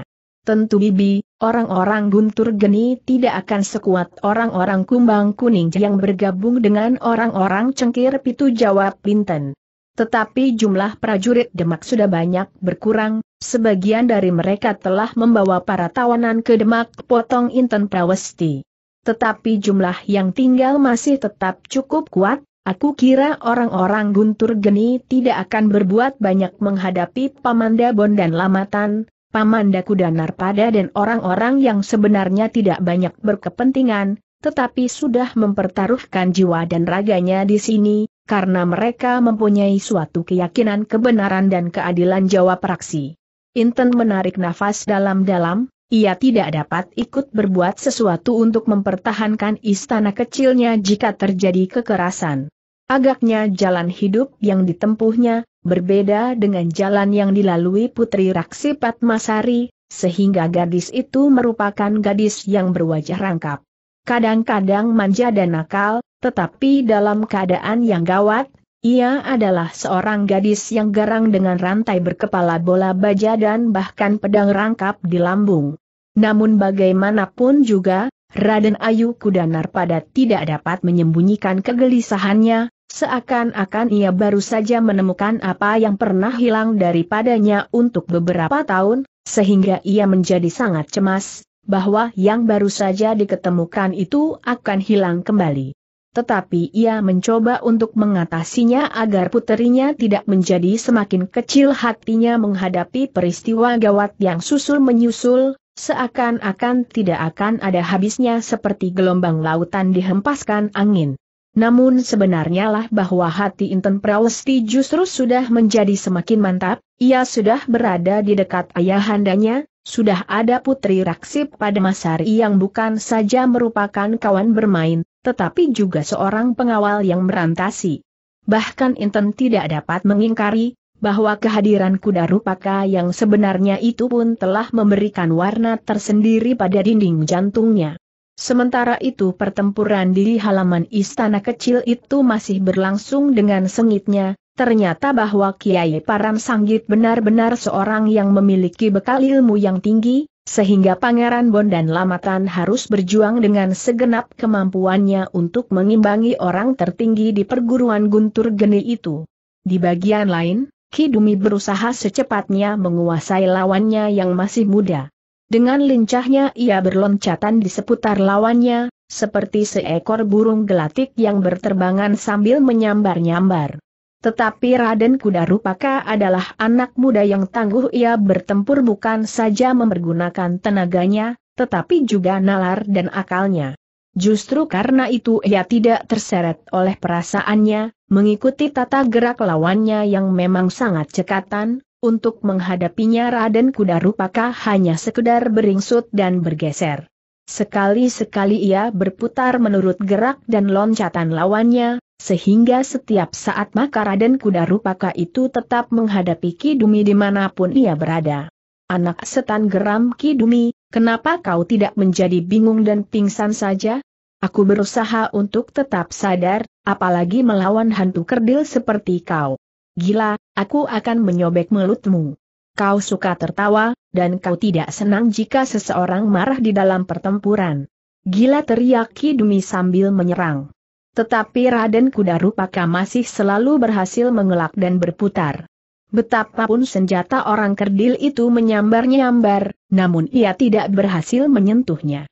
Kau sungguh luar biasa desis Raden Kuda Rupaka, tetapi dalam pertempuran seperti ini, panjang tanganku telah menolongku, senjatamu tidak dapat mencapai tubuhku, betapa kau mengulurkan tanganmu yang pendek itu. Kidumi tidak dapat menahan kemarahannya lagi, tiba-tiba saja senjatanya telah berpindah ke tangan kiri. Raden Kuda Rupaka menjadi curiga, tangan kanan Kidumi tentu akan mempunyai tugas yang lain, yang barangkali sangat berbahaya baginya. Ternyata seperti yang diduganya, Sejenak kemudian tangan Ki Dumi telah memegang sebatang pasir kecil dengan juntai berwarna merah yang terikat pada ekornya. Anak yang malang geram Ki Dumi.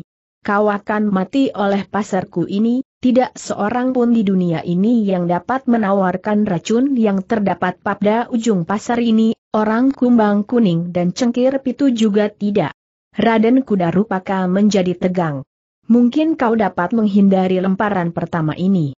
Tetapi aku mempunyai empat buah pasir seperti ini. Salah satu di antaranya tentu akan berhasil menyentuh kulitmu. Raden Kuda Rupaka tiba-tiba saja tersenyum, jawabnya, orang-orang guntur geni adalah orang yang paling senang bermain dengan racun. Tetapi racunnya tidak akan dapat mempengaruhi aku dan orang-orang yang ada di halaman ini, meskipun ia dapat membuat seorang anak muda Karangmaja menjadi cacat. Kidumi mengerutkan keningnya, namun ia tertawa sambil berkata, sekedar permainan anak-anak, tetapi racunku lain. Racunku bukan racun ular yang dapat ditawarkan dengan racun ular pula. Tetapi racunku adalah getah batang cangkring eri sungsang. Oh sahut Raden Kuda Rupaka, getah cangkring hanya dapat membuat kulit menjadi gatal. Ya, tetapi berbeda dengan cangkring eri sungsang, susu hing naga raja.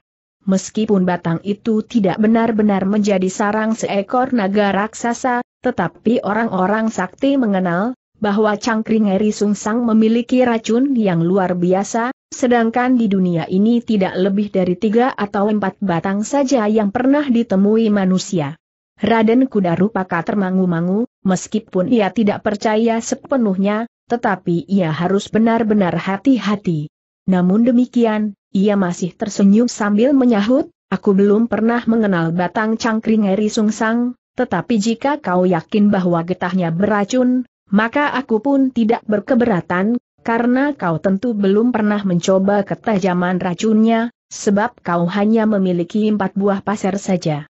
Kau keliru Ki Dumi tertawa, aku pernah membunuh dengan pasir ini beberapa kali, sementara racunnya menjadi semakin tajam bila tersentuh dan berbau darah. Raden Kuda Rupaka ternyata tidak mau menelan akibat yang paling parah, dengan sengaja ia menampakkan keragu-raguan. Namun selagi Ki Dumi dengan bangga melihat kecemasan lawannya, tiba-tiba saja Raden Kuda Rupaka yang tidak ingin mati oleh racun itu telah menyerang.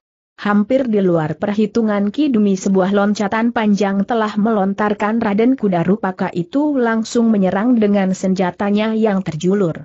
Kidumi benar-benar terkejut, tetapi ia terlambat untuk menarik pasirnya. Sebuah sentuhan senjata Raden Kuda. Rupaka, telah melepaskan pasir itu dari tangan Kidumi. Kidumi yang merasa sebuah sengatan senjata telah melukai tangannya, ia berteriak nyaring. Serangan yang tiba-tiba dan tidak disangka-sangkanya itu benar-benar telah menghentakkan jantungnya. Serangan Raden Kuda Rupaka tidak terhenti sampai sekian. Ketika Ki Dumi berusaha untuk memperbaiki keadaannya, serangan anak muda itu telah menderanya dengan dahsyatnya, sehingga Ki Dumi hanya meloncat menghindarinya. Raden Kuda Rupaka yang mencemaskan racun yang ada di ujung pasar lawannya itu, benar-benar tidak mau mengalami akibat yang menentukan. Itulah sebabnya, maka ia telah bertempur dengan perhitungan yang matang. Seperti yang diperhitungkannya, maka Ki Dumi berusaha untuk menjauhi lawannya untuk mengambil pasir dari kantung di ikuat pinggangnya seperti yang sudah dilakukannya. Saat itulah sebenarnya ditunggu oleh Raden Kuda Rupaka, ketika tangan Ki Dumi meraih pasirnya, maka Raden Kuda Rupaka telah berguling sambil menjulurkan tangannya menggapai pasir Ki Dumi yang terjatuh di tanah. Sesaat kemudian, maka yang terjadi adalah pertarungan kecepatan yang mendebarkan jantung. Raden Kuda Rupaka sama sekali tidak berusaha bangkit, tetapi sambil berbaring ia sempat melontarkan pasir kidumi ke arah pemiliknya yang sudah siap pula melepaskan pasirnya. Namun sekali lagi Kidumi berteriak dengan kemarahan yang menghentak beragaikan memecahkan dadanya. Demikian tangannya terangkat, maka pasir yang dilontarkan oleh Raden Kudarupaka justru telah mengenai pergelangan tangan Kidumi. Teriakan Kidumi itu bukan sekedar teriakan kemarahan, tetapi sentuhan pasarnya itu benar-benar telah membuat jantungnya bagaikan pecah oleh kemarahan dan kecemasan. Ternyata seperti yang dikatakan oleh Kidumi, pengaruh racun dan kecemasan yang memuncak, telah mempercepat pergolakan yang terjadi di dalam tubuhnya sendiri. Racun itu memang terlalu kuat sehingga pengaruhnya segera nampak pada tubuh Kidumi yang kerdil itu. Sementara itu, Ketika tubuh Ki Dumi mulai menjadi gemetar, darahnya terasa mulai membeku di jantungnya. Di tempat lain Ki Seraba tengah mempertahankan hidupnya melawan Panon yang tidak diduganya sama sekali memiliki ilmu yang luar biasa. Ki Seraba yang terlalu yakin akan kekuatannya, dengan sengaja tidak menghindari serangan Panon yang mengarah ke dadanya, dengan menyilangkan senjata di dadanya, Ki Seraba ingin menjajagi, berapa tinggi ilmu anak muda itu. Tetapi ternyata kekhawatiran yang terlontar dari hentakan ilmu panon, telah melemparkannya sehingga ia jatuh terguling. Kepalanya terasa pening terbentur lantai, sementara dadanya yang tertekan oleh senjatanya sendiri, terasa sesak. Gilaki seraba menggeram sambil meloncat berdiri, namun ia tidak sempat meneruskannya, kata-katanya terputus karena serangan panon telah memburunya. Kisraba terpaksa berloncatan menghindar, bahkan kemudian ia seakan-akan tidak mendapat kesempatan lagi untuk berbuat sesuatu selain berjuang mempertahan hidupnya. Pertempuran di halaman itu ternyata telah berjalan cukup lama, perlahan-lahan warna langit mulai berubah, cahaya kemerah-merahan sudah membayang di kehitamannya malam. Di halaman Pangeran Bon dan Lamatan pun sedang bertempur dengan sengitnya melawan Kiai Param Sanggit, pemimpin tertinggi perguruan Guntur Geni yang ternyata memiliki ilmu yang sangat tinggi, sehingga Pangeran Bon dan Lamatan harus memeras kemampuannya untuk bertahan. Dalam hiruk pikuknya pertempuran di halaman dan di sekitar istana itu, Ki Kebo Ander masih berdiri tegak, bahkan seakan-akan ia sudah kehilangan segala nafsunya untuk menyerang Pangeran Kudanar pada yang masih berdiri tegak, bahkan keduanya seolah-olah dua orang sahabat yang berdiri mengawasi pertunjukan yang mengasyikan. Kiai Param Sanggit memang memiliki ilmu yang tinggi tiba-tiba saja Pangeran Kudanar pada berdesis. Ki Kebowander mengangguk-angguk, namun kemudian katanya, Pangeran, apakah kira-kira aku sekarang masih juga tidak dapat mengalahkanmu? Aku tidak tahu, tetapi jika kau tidak mendapat kurnia ilmu yang mengejutkan, Aki kira keseimbangan kita masih belum berubah. Ki Kebo menarik nafas dalam-dalam, katanya, memang tidak ada gunanya untuk bertempur melawan pangeran, seandainya ilmuku meningkat sedikit, maka ilmu pangeran tentu meningkat berlipat ganda. Dalam dunia kematian, pangeran dapat mempelajari berbagai ilmu yang tidak ada bandingnya. Dunia kematian itu memang terasa damai, Ketika aku bangkit lagi dari dunia yang damai itu dan menengok rumah ini, aku sudah mulai terlibat lagi dalam tindakan-tindakan kekerasan seperti yang terjadi. Ki Kebowander mengangguk-angguk, ketika ia melihat Panon menyerang lawannya tanpa ampun, maka Ki Kebowander itu berkata, bukankah anak muda itu muridmu? Pangeran Kudanar pada mengerutkan keningnya. Ilmunya sudah mencapai taraf yang tinggi, ia tinggal mematangkan beberapa bagian yang masih agak kabur, tetapi aku yakin Ki Serabat tidak akan dapat mengalahkannya sambung Ki Kebo Ander. Pangeran Kudanar pada mengangguk-angguk kecil. Katanya, mudah-mudahan ia dapat memenangkan perkelahian itu. Anak muda yang satu itu pun memiliki kemampuan yang luar biasa, bahkan, kata-kata Ki Kebo Ander terputus.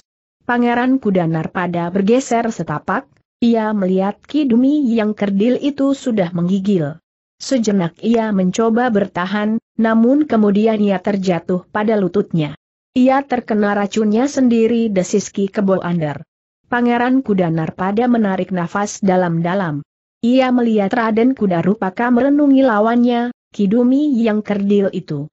Kau luar biasa anak muda desisnya. Kidumi berpaling ketika ia melihat Ki Kebowander mendekatinya dan berjongkok di sampingnya. Pasarmu sendiri yang telah merenggut nyawamu Kidumi, jika benar yang kau katakan bahwa pasarmu itu kau lumuri getah batang cangkring eri sungsang, maka tidak ada obat yang dapat menyembuhkannya berkata Ki Kebowander. Kidumi mengangguk kecil, jawabnya dengan suara gemetar, ya, Aku telah merendam pasarku pada beberapa tetes getah cangkring eri sungsuang dan aku pun sadar, bahwa aku akan mati sekarang. Ki Kebo Ander kemudian membantu Ki Dumi membujurkannya di lantai dan meletakkan kepalanya pada alas ikat kepalanya sendiri. Tetapi Ki Dumi sudah terlalu lemah, pada saat terakhir ia masih berusaha bertanya, Kebo Ander, kenapa kau tidak berbuat sesuatu? Aku percaya bahwa orang ini adalah Pangeran Kuda Narpada, sepanjang umurku, aku sudah beberapa kali berusaha untuk memenangkan setiap perkelahian yang beberapa kali pula telah aku lakukan melawannya. Tetapi aku selalu kalah.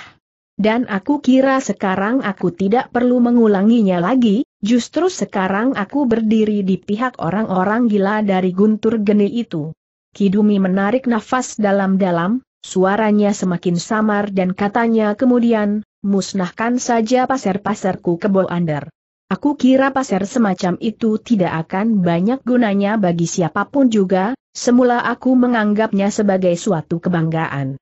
Tetapi ternyata bahwa aku sudah terbunuh oleh kebanggaanku itu sendiri. Ki Kebo Ander mengangguk, jawabnya, baiklah, aku akan membakarnya sehingga pasar-pasarmu akan musnah. Kidumi memandang Ki Kebo Ander sejenak, lalu katanya, kau orang baik Kebo Ander, umurmu masih akan panjang dengan pengakuanmu bahwa kau tidak akan menang atas lawanmu itu.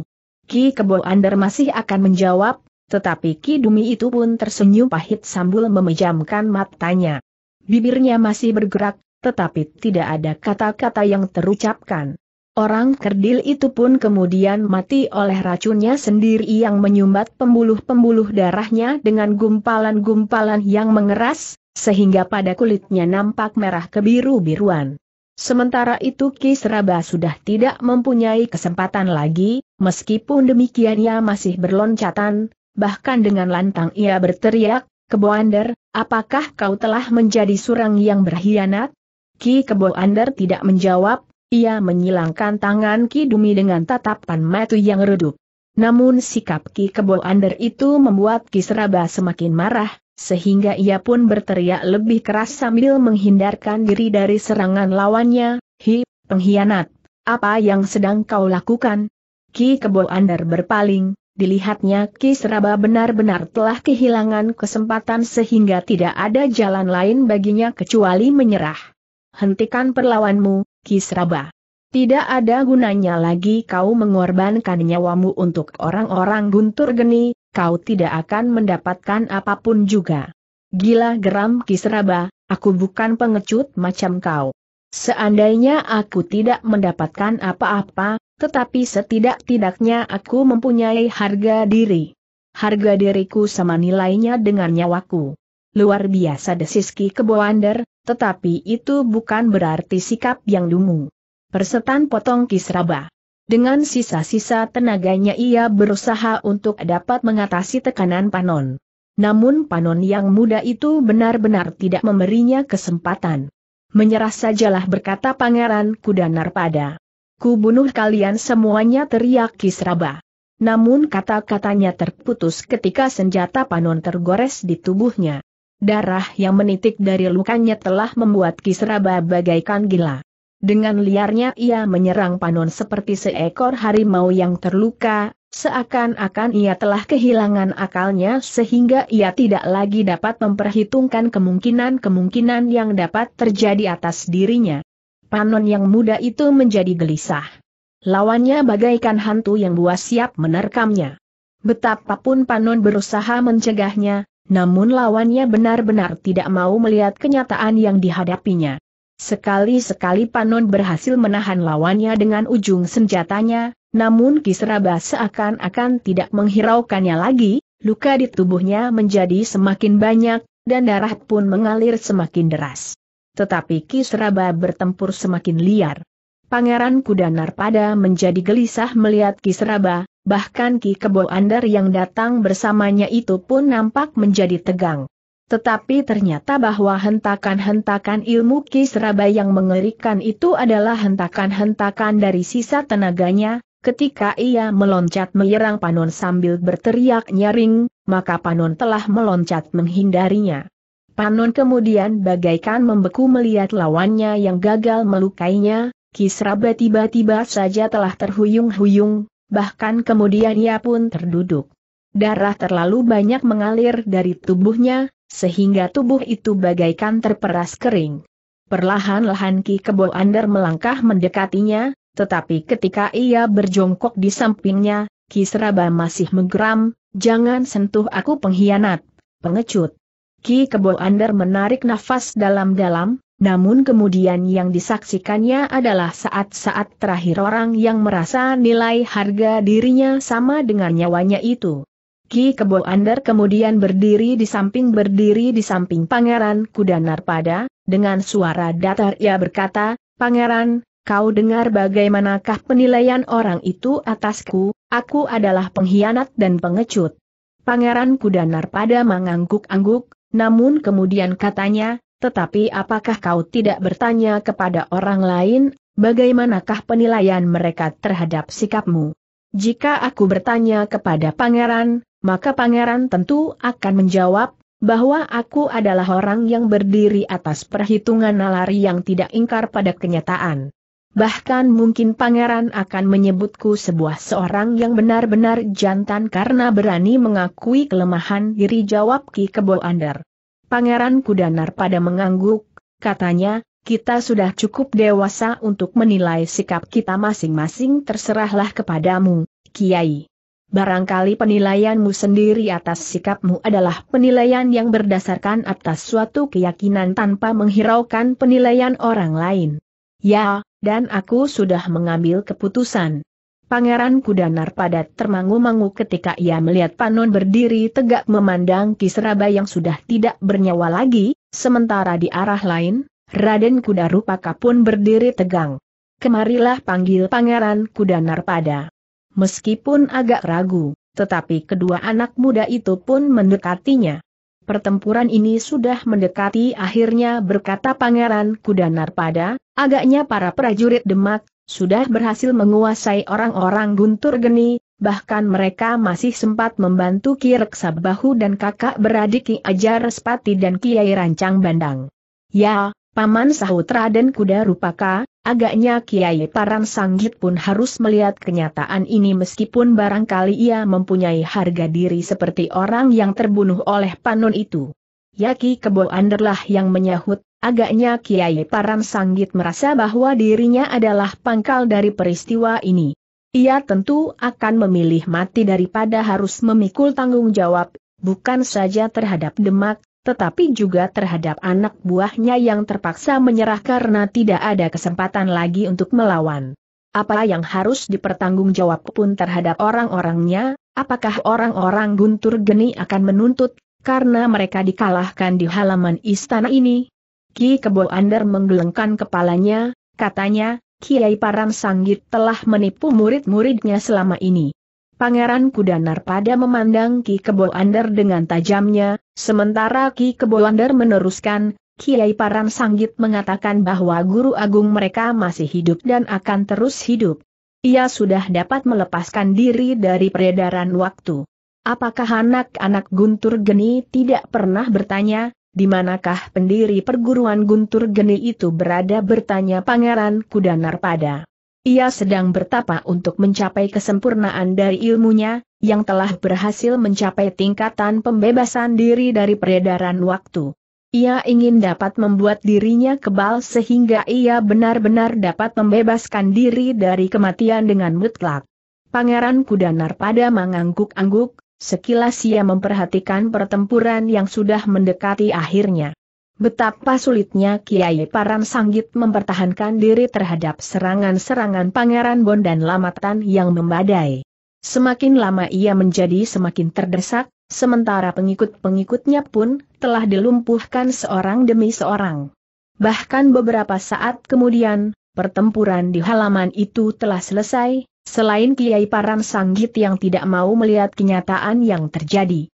Kiai Rancang Bandang, Ki Ajar Respati dan Ki Reksabahu dan para prajurit Demak sudah berhasil menguasai lawan-lawan mereka, sebagian dari mereka terbunuh dan yang sebagian yang lain menyerah. Tetapi Kiai Paran Sanggit masih bertempur dengan gigihnya melawan Pangeran Bon dan Lamatan. Ketika seorang senapati mendekat, maka Pangeran Bon dan Lamatan berkata, biarlah ia menemukan dirinya sendiri. Agaknya Kiai Paran Sanggit ingin melakukan perang tanding. Jangan ganggu. Jika ia berhasil, biarlah ia mendapatkan kepuasan dari keberhasilannya yang terakhir. Persetan teriak Kiai Paran Sanggit, tidak ada yang dapat menghentikan perlawananku. Pangeran Bon dan Lamatan tidak menjawab, tetapi keduanya bertempur semakin seru. Namun ketika Kiai Paran Sanggit melihat Ki Kebo Ander yang tidak mencabut senjatanya sama sekali, ia berteriak, pengecut, kau ingkar kepada janjimu sendiri. Kau dengar pangeran desis Ki Kebo Ander, ia pun menyebut aku pengecut, apakah benar aku seorang pengecut menurut laki-laki? Terserahlah kepadamu Kebo Ander. Jika kau memerlukan seorang lawan untuk membuktikan bahwa kau bukan seorang pengecut, maka aku juga masih belum mempergunakan pisau-pisauku. Ki Kebo Ander menarik nafas dalam-dalam. Pengecut, jangan dekati aku Kiai Paran Sanggit berteriak lebih keras. Maaf Kiai Paran Sanggit, jawab Ki Kebo Ander, aku sudah menemukan suatu keyakinan di dalam diriku, bahwa aku tidak akan dapat berbuat apa-apa melawan Pangeran Kudanar pada. Kau gila, Kudanar pada sudah mati. Ia ada di sini, dan aku yakin, bahwa orang yang bernama Ki Wirik itu adalah Pangeran Kudanar pada. Muridnya lah yang telah melepaskan pisau-pisaunya untuk membunuh dua orang pengikutmu di Banjar. Gila, kau sudah gila teriak Kiai Paran Sanggit sehingga seolah-olah ia telah melupakan perang tanding yang sedang berlangsung. Tetapi Pangeran Bon dan Lamatan adalah orang yang memiliki sifat-sifat seorang prajurit. Meskipun lawannya sedang lengah. Ia sama sekali tidak mempergunakan kesempatan itu. Bahkan katanya, Kiai Paran Sanggit, jika kau masih ingin mengumpat, lakukanlah. Aku beri kesempatan kau sepuas-puasnya. Jika kemudian kau ingin melanjutkan pertempuran, aku akan siap melayanimu. Persetan teriak Kiai Paran Sanggit sambil menyerang dengan dahsyatnya, senjatanya yang menghentak hampir saja menyentuh dada Pangeran Bon dan Lamatan, tetapi Pangeran Bon dan Lamatan sempat mengelak, bahkan ia pun kemudian telah mengambil keputusan, bahwa agaknya Kiai Paran Sanggit tidak dapat lagi merubah sikapnya, karena sebenarnya lah ia sudah berniat untuk membunuh diri dengan caranya. Agaknya Pangeran Bon dan Lamatan pun sudah mulai dijalari kejemuan. Tidak ada harapan lagi untuk terbicara. Bahkan pada suatu saat tenaganya sendiri yang akan susut. Sehingga mungkin justru Kiai Paran Sanggit akan berhasil melumpuhkannya. Karena itulah, maka Pangeran Bon dan Lamatan pun telah mengambil keputusan untuk menyelesaikan perang tanding itu. Karena itulah, maka tiba-tiba saja serangan Pangeran Bon dan Lamatan telah menghentak-hentak beragaikan debur ombak di lautan, sekali memukul dengan dahsyatnya, kemudian menghindar dengan cepat. Kiai Paran Sanggit menjadi semakin bingung, tetapi keputusannya telah membuatnya bagaikan gila, ia menyerang tanpa perhitungan lagi. Justru pada saat serangan Pangeran Bon dan Lamatan menghantamnya, ia telah membenturkan kekuatan dengan memutar senjatanya. Tetapi akibat dari benturan itu menjadikannya sangat parah, ia terdorong surut beberapa langkah. Namun ketika ia mencoba memperbaiki keseimbangannya, maka sekali lagi senjata Pangeran Bon dan Lamatan menyentuhnya. terdengar keluhan tertahan, Kiai Param Sanggit terdorong sekali lagi dan sekali lagi ia terdorong karena hempasan senjata lawan. Tidak ada lagi kesempatan baginya, sehingga ia pun kemudian terlempar jatuh di tanah. Wajahnya yang kemudian basah oleh darah menjadi sangat mengerikan, loncatan dendam dan kebencian membayang pada sorot matanya. Bahkan Kiai Param Sanggit itu masih sempat berteriak, serahkan pusaka itu. Pangeran Bon dan Lamatan mendekatinya, betapa mengerikan wajah Kiai Param Sanggit yang telah dihempaskan pada suatu kenyataan, bahwa usahanya telah gagal. Namun sejenak kemudian, Kiai Param Sanggit tidak dapat lagi menentang kepastian yang telah merenggut umurnya. Ketika ia menggeliat sekali lagi, terdengar ia mengerang. Namun sebuah hentakan kekecewaan telah membuatnya berteriak sekali lagi, serahkan pusaka itu uu. Ketika gemas suaranya lenyap dari lembah-lembah yang membujur di antara pegunungan, maka Kiai Param Sanggit itu pun menghembuskan nafasnya yang terakhir. Kematiannya adalah pertanda kegagalan mutlak dari usahanya untuk mendapatkan pusaka yang menurut dugaannya akan dapat memberikan kemukten kepadanya dan keturunannya. Ki Kebo Ander masih berdiri membeku. Dipandanginya kawannya yang telah tidak bernafas lagi. Pada tubuh yang membeku itu masih nampak, betapa nafsunya melonjak-lonjak tidak terkendali. Kematian-kematian yang terjadi agaknya telah mengakhiri semua persoalan yang menyangkut rumah kecil yang suam ini berkata Pangeran Kudanar pada kemudian, jika di sini ada Ki Kebo Ander yang mengetahui bahwa pusaka itu sudah ada di tangan kami, maka terserah kepadamu apa yang akan kau lakukan.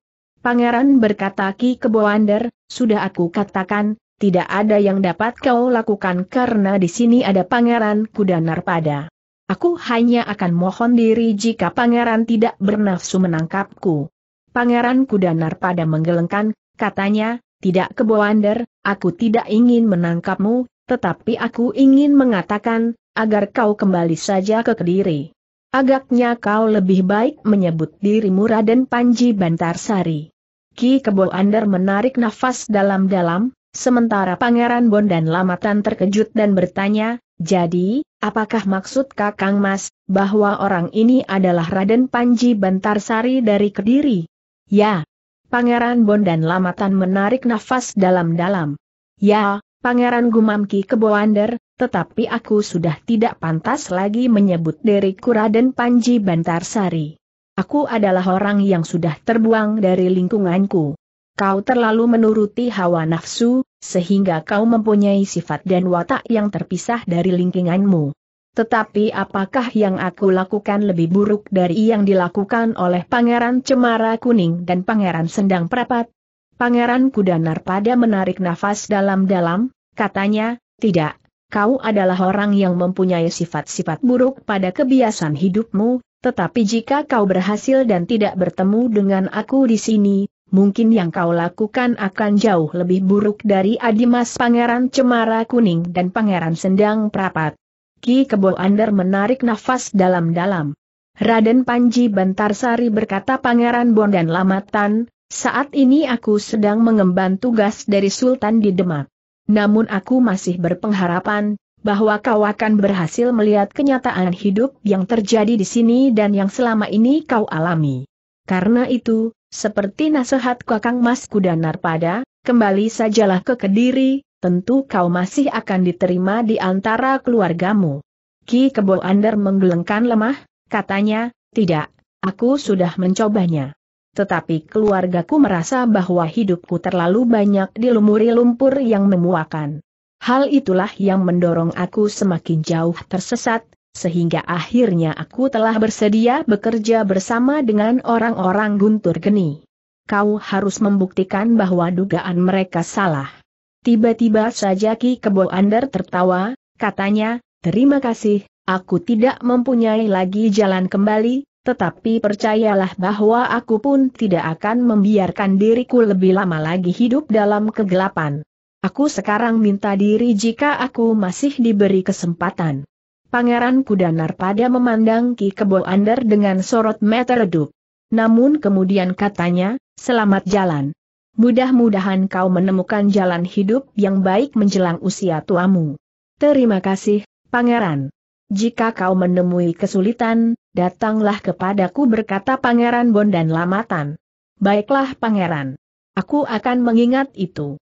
Perlahan-lahan Ki Kebo Ander meninggalkan halaman itu diiringi oleh tatapan mata orang-orang yang berada di halaman. Begitu ia hilang di balik regol, Pangeran Kudanar pada berkata, mudah-mudahan ia menemukan jalan yang terang, tetapi aku yakin akan hal itu. Pangeran Bondan Lamatan mengangguk-angguk desisnya, mudah-mudahan. Demikianlah, maka orang-orang yang ada di halaman itu pun segera melakukan tugas mereka yang tersisa. Mengubur korban-korban peperangan. Sementara yang lain melayani orang-orang yang terluka. Hari yang terlampaui adalah hari yang mendebarkan, tetapi juga merupakan kepastian, bahwa sebagian besar dari tugas para utusan Demak itu sudah selesai. Di bawah lampu minyak di malam berikutnya, orang-orang yang berada di istana kecil itu telah berkumpul, Pinten telah membawa bibinya kembali ke istana bersama Inten Danyi Upih. Tugas kita sudah selesai berkata Pangeran Bondan Lamatan, lalu, dengan demikian, maka sudah datang saatnya kita meninggalkan tempat ini. Pangeran Kudanar pada merenung sejenak, dipandanginya Raden Ayu Kudanar pada yang menundukkan kepalanya dan Inten Prawesti yang gelisah. Tetapi Pangeran Kudanar pada tidak merasa, apakah yang sebenarnya bergejolak di dalam hati kedua orang putri itu. Apakah mereka merasa gembira bahwa dengan demikian mereka sudah terhindar dari bahaya, atau tumbuh harapan di hati mereka untuk bersama-sama pergi ke Demak? Kamas Kudanar pada berkata Pangeran Bondan Lamatan, agaknya tidak ada lagi yang harus menahan kita di sini. Juga tidak ada yang menahan Kakang Mas bersama seluruh keluarga. Pangeran Kudanar pada menarik nafas dalam-dalam. Dengan suara yang dalam ia berkata, beberapa tahun aku sudah terpisah dari istana ini, tetapi rasa-rasanya, aku tidak akan dengan mudah meninggalkannya. Ada sesuatu yang mengikat aku di sini bukit-bukit yang sudah menjadi hijau dan sawah-sawah yang mulai digarap dengan cara yang lebih baik, sehingga padukuhan Karangmaja menjadi semakin subur. Pangeran Bondan Lamatan mengerutkan keningnya, sementara Pangeran Kudanar pada meneruskan, aku kira, aku akan mengalami kesulitan untuk menyesuaikan diri dengan kehidupan di Demak, Adimas. Tetapi semuanya masih juga tergantung kepada keluargaku. Pangeran Bondan Lamatan menarik nafas dalam-dalam, tetapi ia sadar bahwa Pangeran Kudanar pada masih harus membicarakannya dengan seluruh keluarganya. Baiklah Kakang Mas berkata Pangeran Bondan Lamatan, besok aku berharap bahwa aku akan dapat menempuh perjalanan kembali. Aku mohon Kakang Mas dengan seluruh keluarga dapat pergi bersama kami. Aku akan memikirkannya Adimas, semalam ini aku kira cukup waktu untuk membicarakannya. Pangeran Bondan Lamatan tidak mendesaknya lagi, ia pun kemudian minta diri untuk beristirahat, seperti biasanya ia berada di lingkungan para prajuritnya sebagaimana seorang senapati yang baik. Ketika kemudian Pangeran Kudanar pada sedang berbincang di ruang dalam, Pinten duduk sambil bertopang dagu di pintu butulan. Dipandanginya bayang-bayang kegelapan yang menyelubungi halaman istana kecil itu, meskipun ia belum terlalu lama berada di istana kecil itu, namun rasa-rasanya ada sesuatu yang mengikatnya untuk tetap tinggal.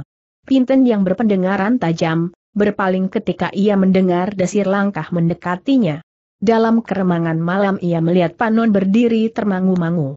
Kau akan pergi ke Demak tiba-tiba terdengar suara Pinten datar.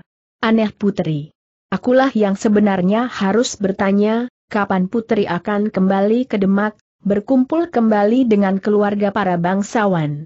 Pinten menarik nafas dalam-dalam, katanya, aku tidak pernah tinggal di Demak, aku selalu berada di sebuah padepokan kecil yang terpisah, aku tidak tahu. Bagaimana bergaul dengan para bangawan meskipun kadang-kadang ada orang yang memanggilku putri seperti kebanyakan putri bangsawan. Panon termangu-mangu sejenak, lalu, jadi, apakah yang akan putri lakukan? Aku tidak tahu, sebagian terbesar tergantung kepada Kamas Kuda Rupaka. Jika putri wenang memilih desa Panon. Pinten memandang wajah Panon dalam keremangan malam. Namun kemudian terdengar ia berdesis, aku akan tinggal, tetapi tentu aku akan sendiri, karena Paman dan Bibi Kudanar pada akan segera meninggalkan istana kecil ini, dan kau murid yang sangat dikasihi seperti anak sendiri, tentu akan ikut pula bersama mereka. Panon menundukkan kepalanya, tetapi tidak ada yang dapat dikatakannya. Ia berpaling ketika Pinten berkata, Panon. Panon termangu-mangu, namun ternyata Pinten tidak mengatakan sesuatu. Bahkan gadis itu pun kemudian berdiri dan cepat-cepat melangkah masuk pintu butulan. Namun hampir saja ia melanggar kakaknya yang sudah berdiri di belakangnya, dengan sungguh-sungguh kakaknya berkata, kitalah yang akan pergi ke Demak bersama Paman Bon dan Lamatan. Agaknya Paman dan Bibi Kudanar pada akan tetap tinggal di istana ini bersama di Ajeng Inten Prawesti. Dari mana kau tahu? Aku ikut dalam pembicaraan di ruang dalam. Paman mencarimu, ternyata kau berada di sini. Ah! Besok kita berangkat bersama pasukan Demak. Pinten merenung sejenak, tiba-tiba ia menyahut, tidak, aku tidak pernah merasa diriku keluarga bangsawan di Demak. Kita adalah anak-anak padepokan. Meskipun kita tidak menolak menjalankan tugas apa pun juga bagi keselamatan Demak. Tetapi aku tidak akan betah tinggal di antara saudara-saudara kita yang berbeda dalam sikap dan tingkah laku. Apa yang berbeda Raksi bertanya Raden Kudarupaka. Mereka adalah anak-anak para bangsawan yang hanya tahu memilih seekor kuda yang paling tegar memilih calon suami atau istri yang sesuai dengan martabat mereka, memilih istana yang paling indah. Tetapi kenapa Sultan Demak tidak mengutus mereka untuk pergi bersama Paman Bon dan Lamatan, tetapi justru kita yang hidup di padepokan terpencil, bukankah itu berarti suatu pengakuan bahwa mereka yang berada di kota raja sudah tidak mampu lagi menjunjung kewajiban mereka sebagai suatu tataran kehidupan yang akan tumbuh di masa datang? Oh, rupanya kau sedang merajuk raksi, tentu dugaanmu tidak seluruhnya benar. Di kota raja terdapat banyak anak-anak muda yang siap mengemban tugas seperti kita. Tetapi Sultan tentu tidak melupakan kita yang tidak berada di kota raja. Tidak. Aku akan berada di sini. Hiu Raden Kuda Rupaka termangu-mangu. Kita berdua akan kembali ke Demak, Raksi. Pinten termangu-mangu sejenak, namun tiba-tiba ia berlari masuk ke ruang dalam. Raden Kuda Rupaka tidak mencegahnya. Ia menjengukkan kepalanya di pintu butulan, ketika ia melihat Panon masih termangu-mangu, ia tersenyum kecil. Dalam pada itu Pinten tidak mencari bibinya, tetapi ia langsung menemui Inten Prawesti yang masih berada di ruang tengah mengemasi mangkuk-mangkuk.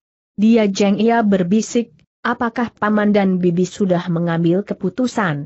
Inten memandang Pinten sejenak, kemudian sambil menundukkan kepalanya ia menjawab, Ayahanda dan Ibunda sudah mengambil keputusan untuk tinggal di sini.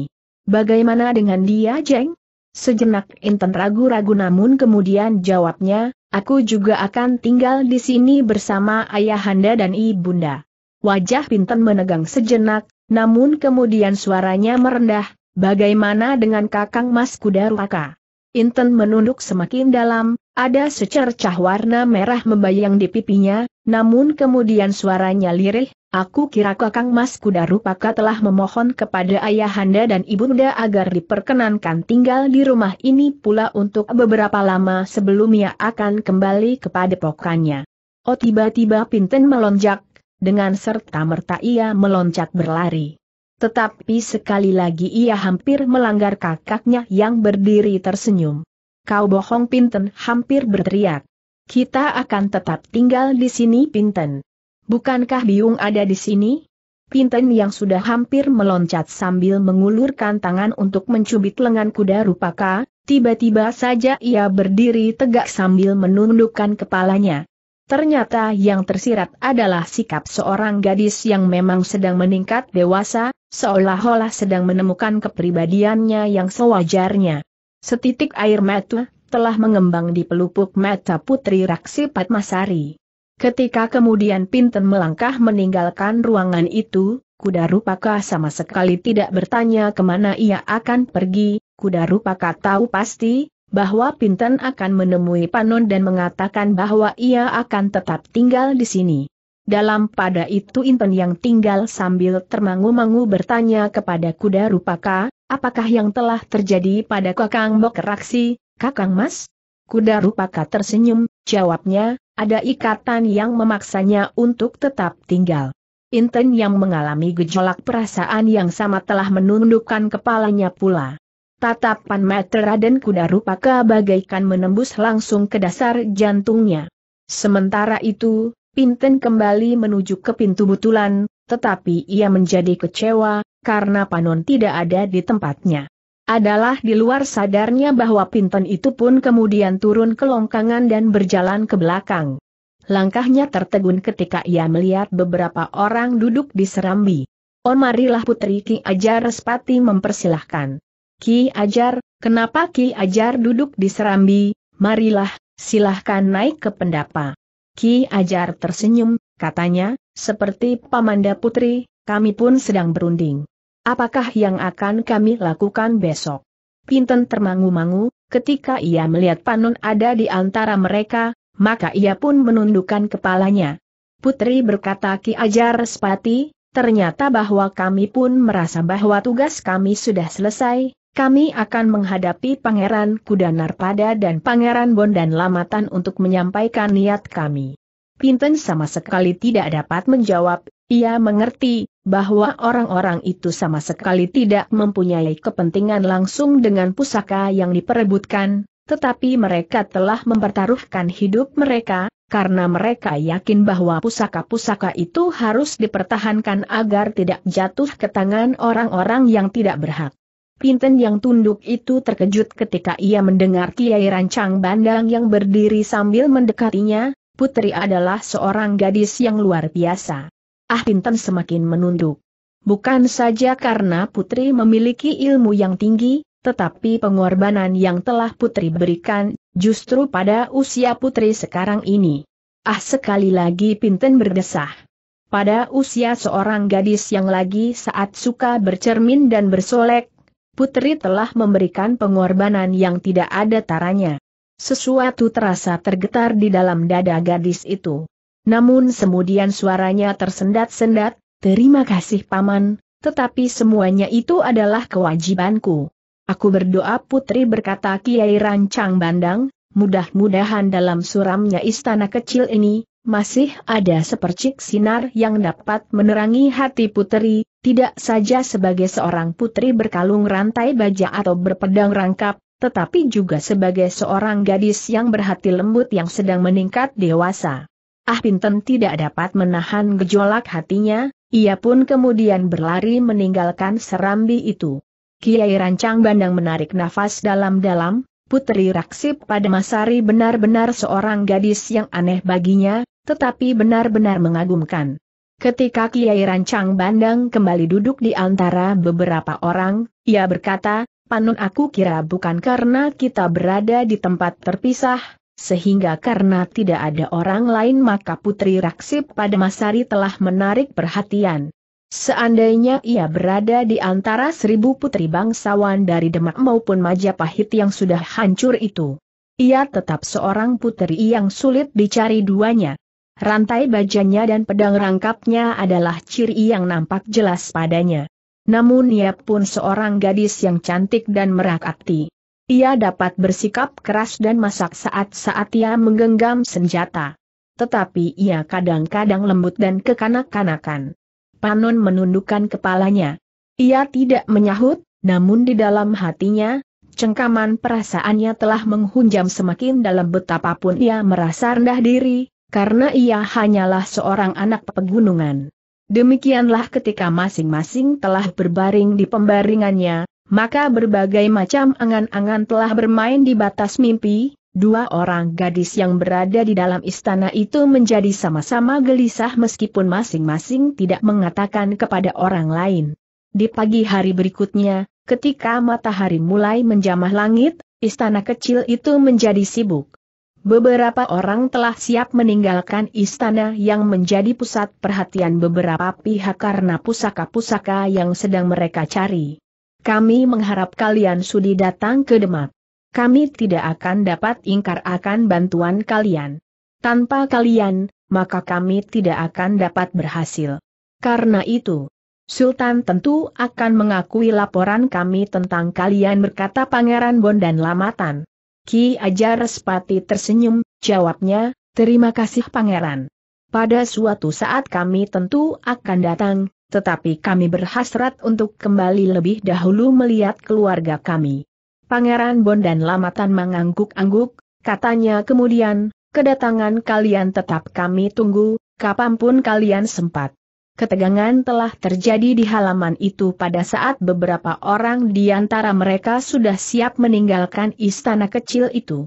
Pangeran Bondan Lamatan akan kembali ke Demak bersama pengiringnya untuk melaporkan hasil yang sudah didapatkannya, sementara Ki Ajar Respati, adiknya Kiai Rancang Bandang dan Ki Reksa Bahu pun telah minta diri untuk kembali ke padukuhan masing-masing. Pakailah kalung itu panon desis Ki Ajar Respati, kemudian katanya kepada Pangeran Kudanar pada, Pangeran, Aku mohon agar aku diperkenankan mengaku anak muda itu sebagai anakku pula. Pangeran Kudanar pada tersenyum, jawabnya, tentu aku tidak akan berkeberatan Ki Ajar. Terima kasih Pangeran Desis Ki Ajar Spati yang kemudian berpaling kepada Pangeran Bondan Lamatan Bakti kami kepada Sultan di Demak. Pangeran Bondan Lamatan tersenyum, sambil mengangguk-angguk ia menjawab, baiklah, kami akan menyampaikan kepada Sultan juga tentang semua peristiwa yang pernah terjadi, terlebih-lebih lagi tentang hadirnya Kakang Mas Kudanar pada. Demikianlah maka Pangeran Bondan Lamatan pun kemudian sekali lagi minta diri sambil membawa beberapa orang tawanan. Kibuyut yang hadir bersama-sama para bebahu tidak henti-hentinya mengucapkan terima kasih atas kehadiran mereka di Padukuhan Karangmaja. Demikianlah peristiwa demi peristiwa telah berlalu, istana yang suam mulai cerah kembali, Karang Maja menjadi padukuhan yang tenang damai dan sejahtera, begitu juga dengan kehidupan di dalam istana itu. Beberapa tahun kemudian diadakanlah sebuah perayaan pernikahan, Panon dengan bahagianya memperistrikan Pinten atau Putri Raksi Patmasari, dan Sangkan atau Raden Kudarupaka memperistrikan Inten Prawesti. Semua kerabat-kerabat turut hadir pada acara kebahagiaan tersebut, baik para bangsawan Demak dari kota raja, maupun kerabat seperjuangan dalam mempertahankan pusaka yang pernah terjadi di istana itu. Acara kebahagiaan tersebut berlangsung sederhana, namun cukup meriah, karena dihadiri oleh tamu istimewa yaitu Pangeran Bondan Lamatan beserta keluarganya, serta kawan-kawan seperjuangan seperti Ki Ajar Respati, Kiai Rancang Bandang dan Ki Reksa Bahu beserta keluarga mereka. Juga tidak ketinggalan dihadiri oleh Ki Kebo Andar yang sudah menemukan jati dirinya kembali. Demikianlah akhir cerita ini, semoga terhibur dan mudah-mudahan ada sesuatu yang dapat diambil dari cerita ini sebagai pelajaran. Sampai jumpa dalam lain cerita. Tamat.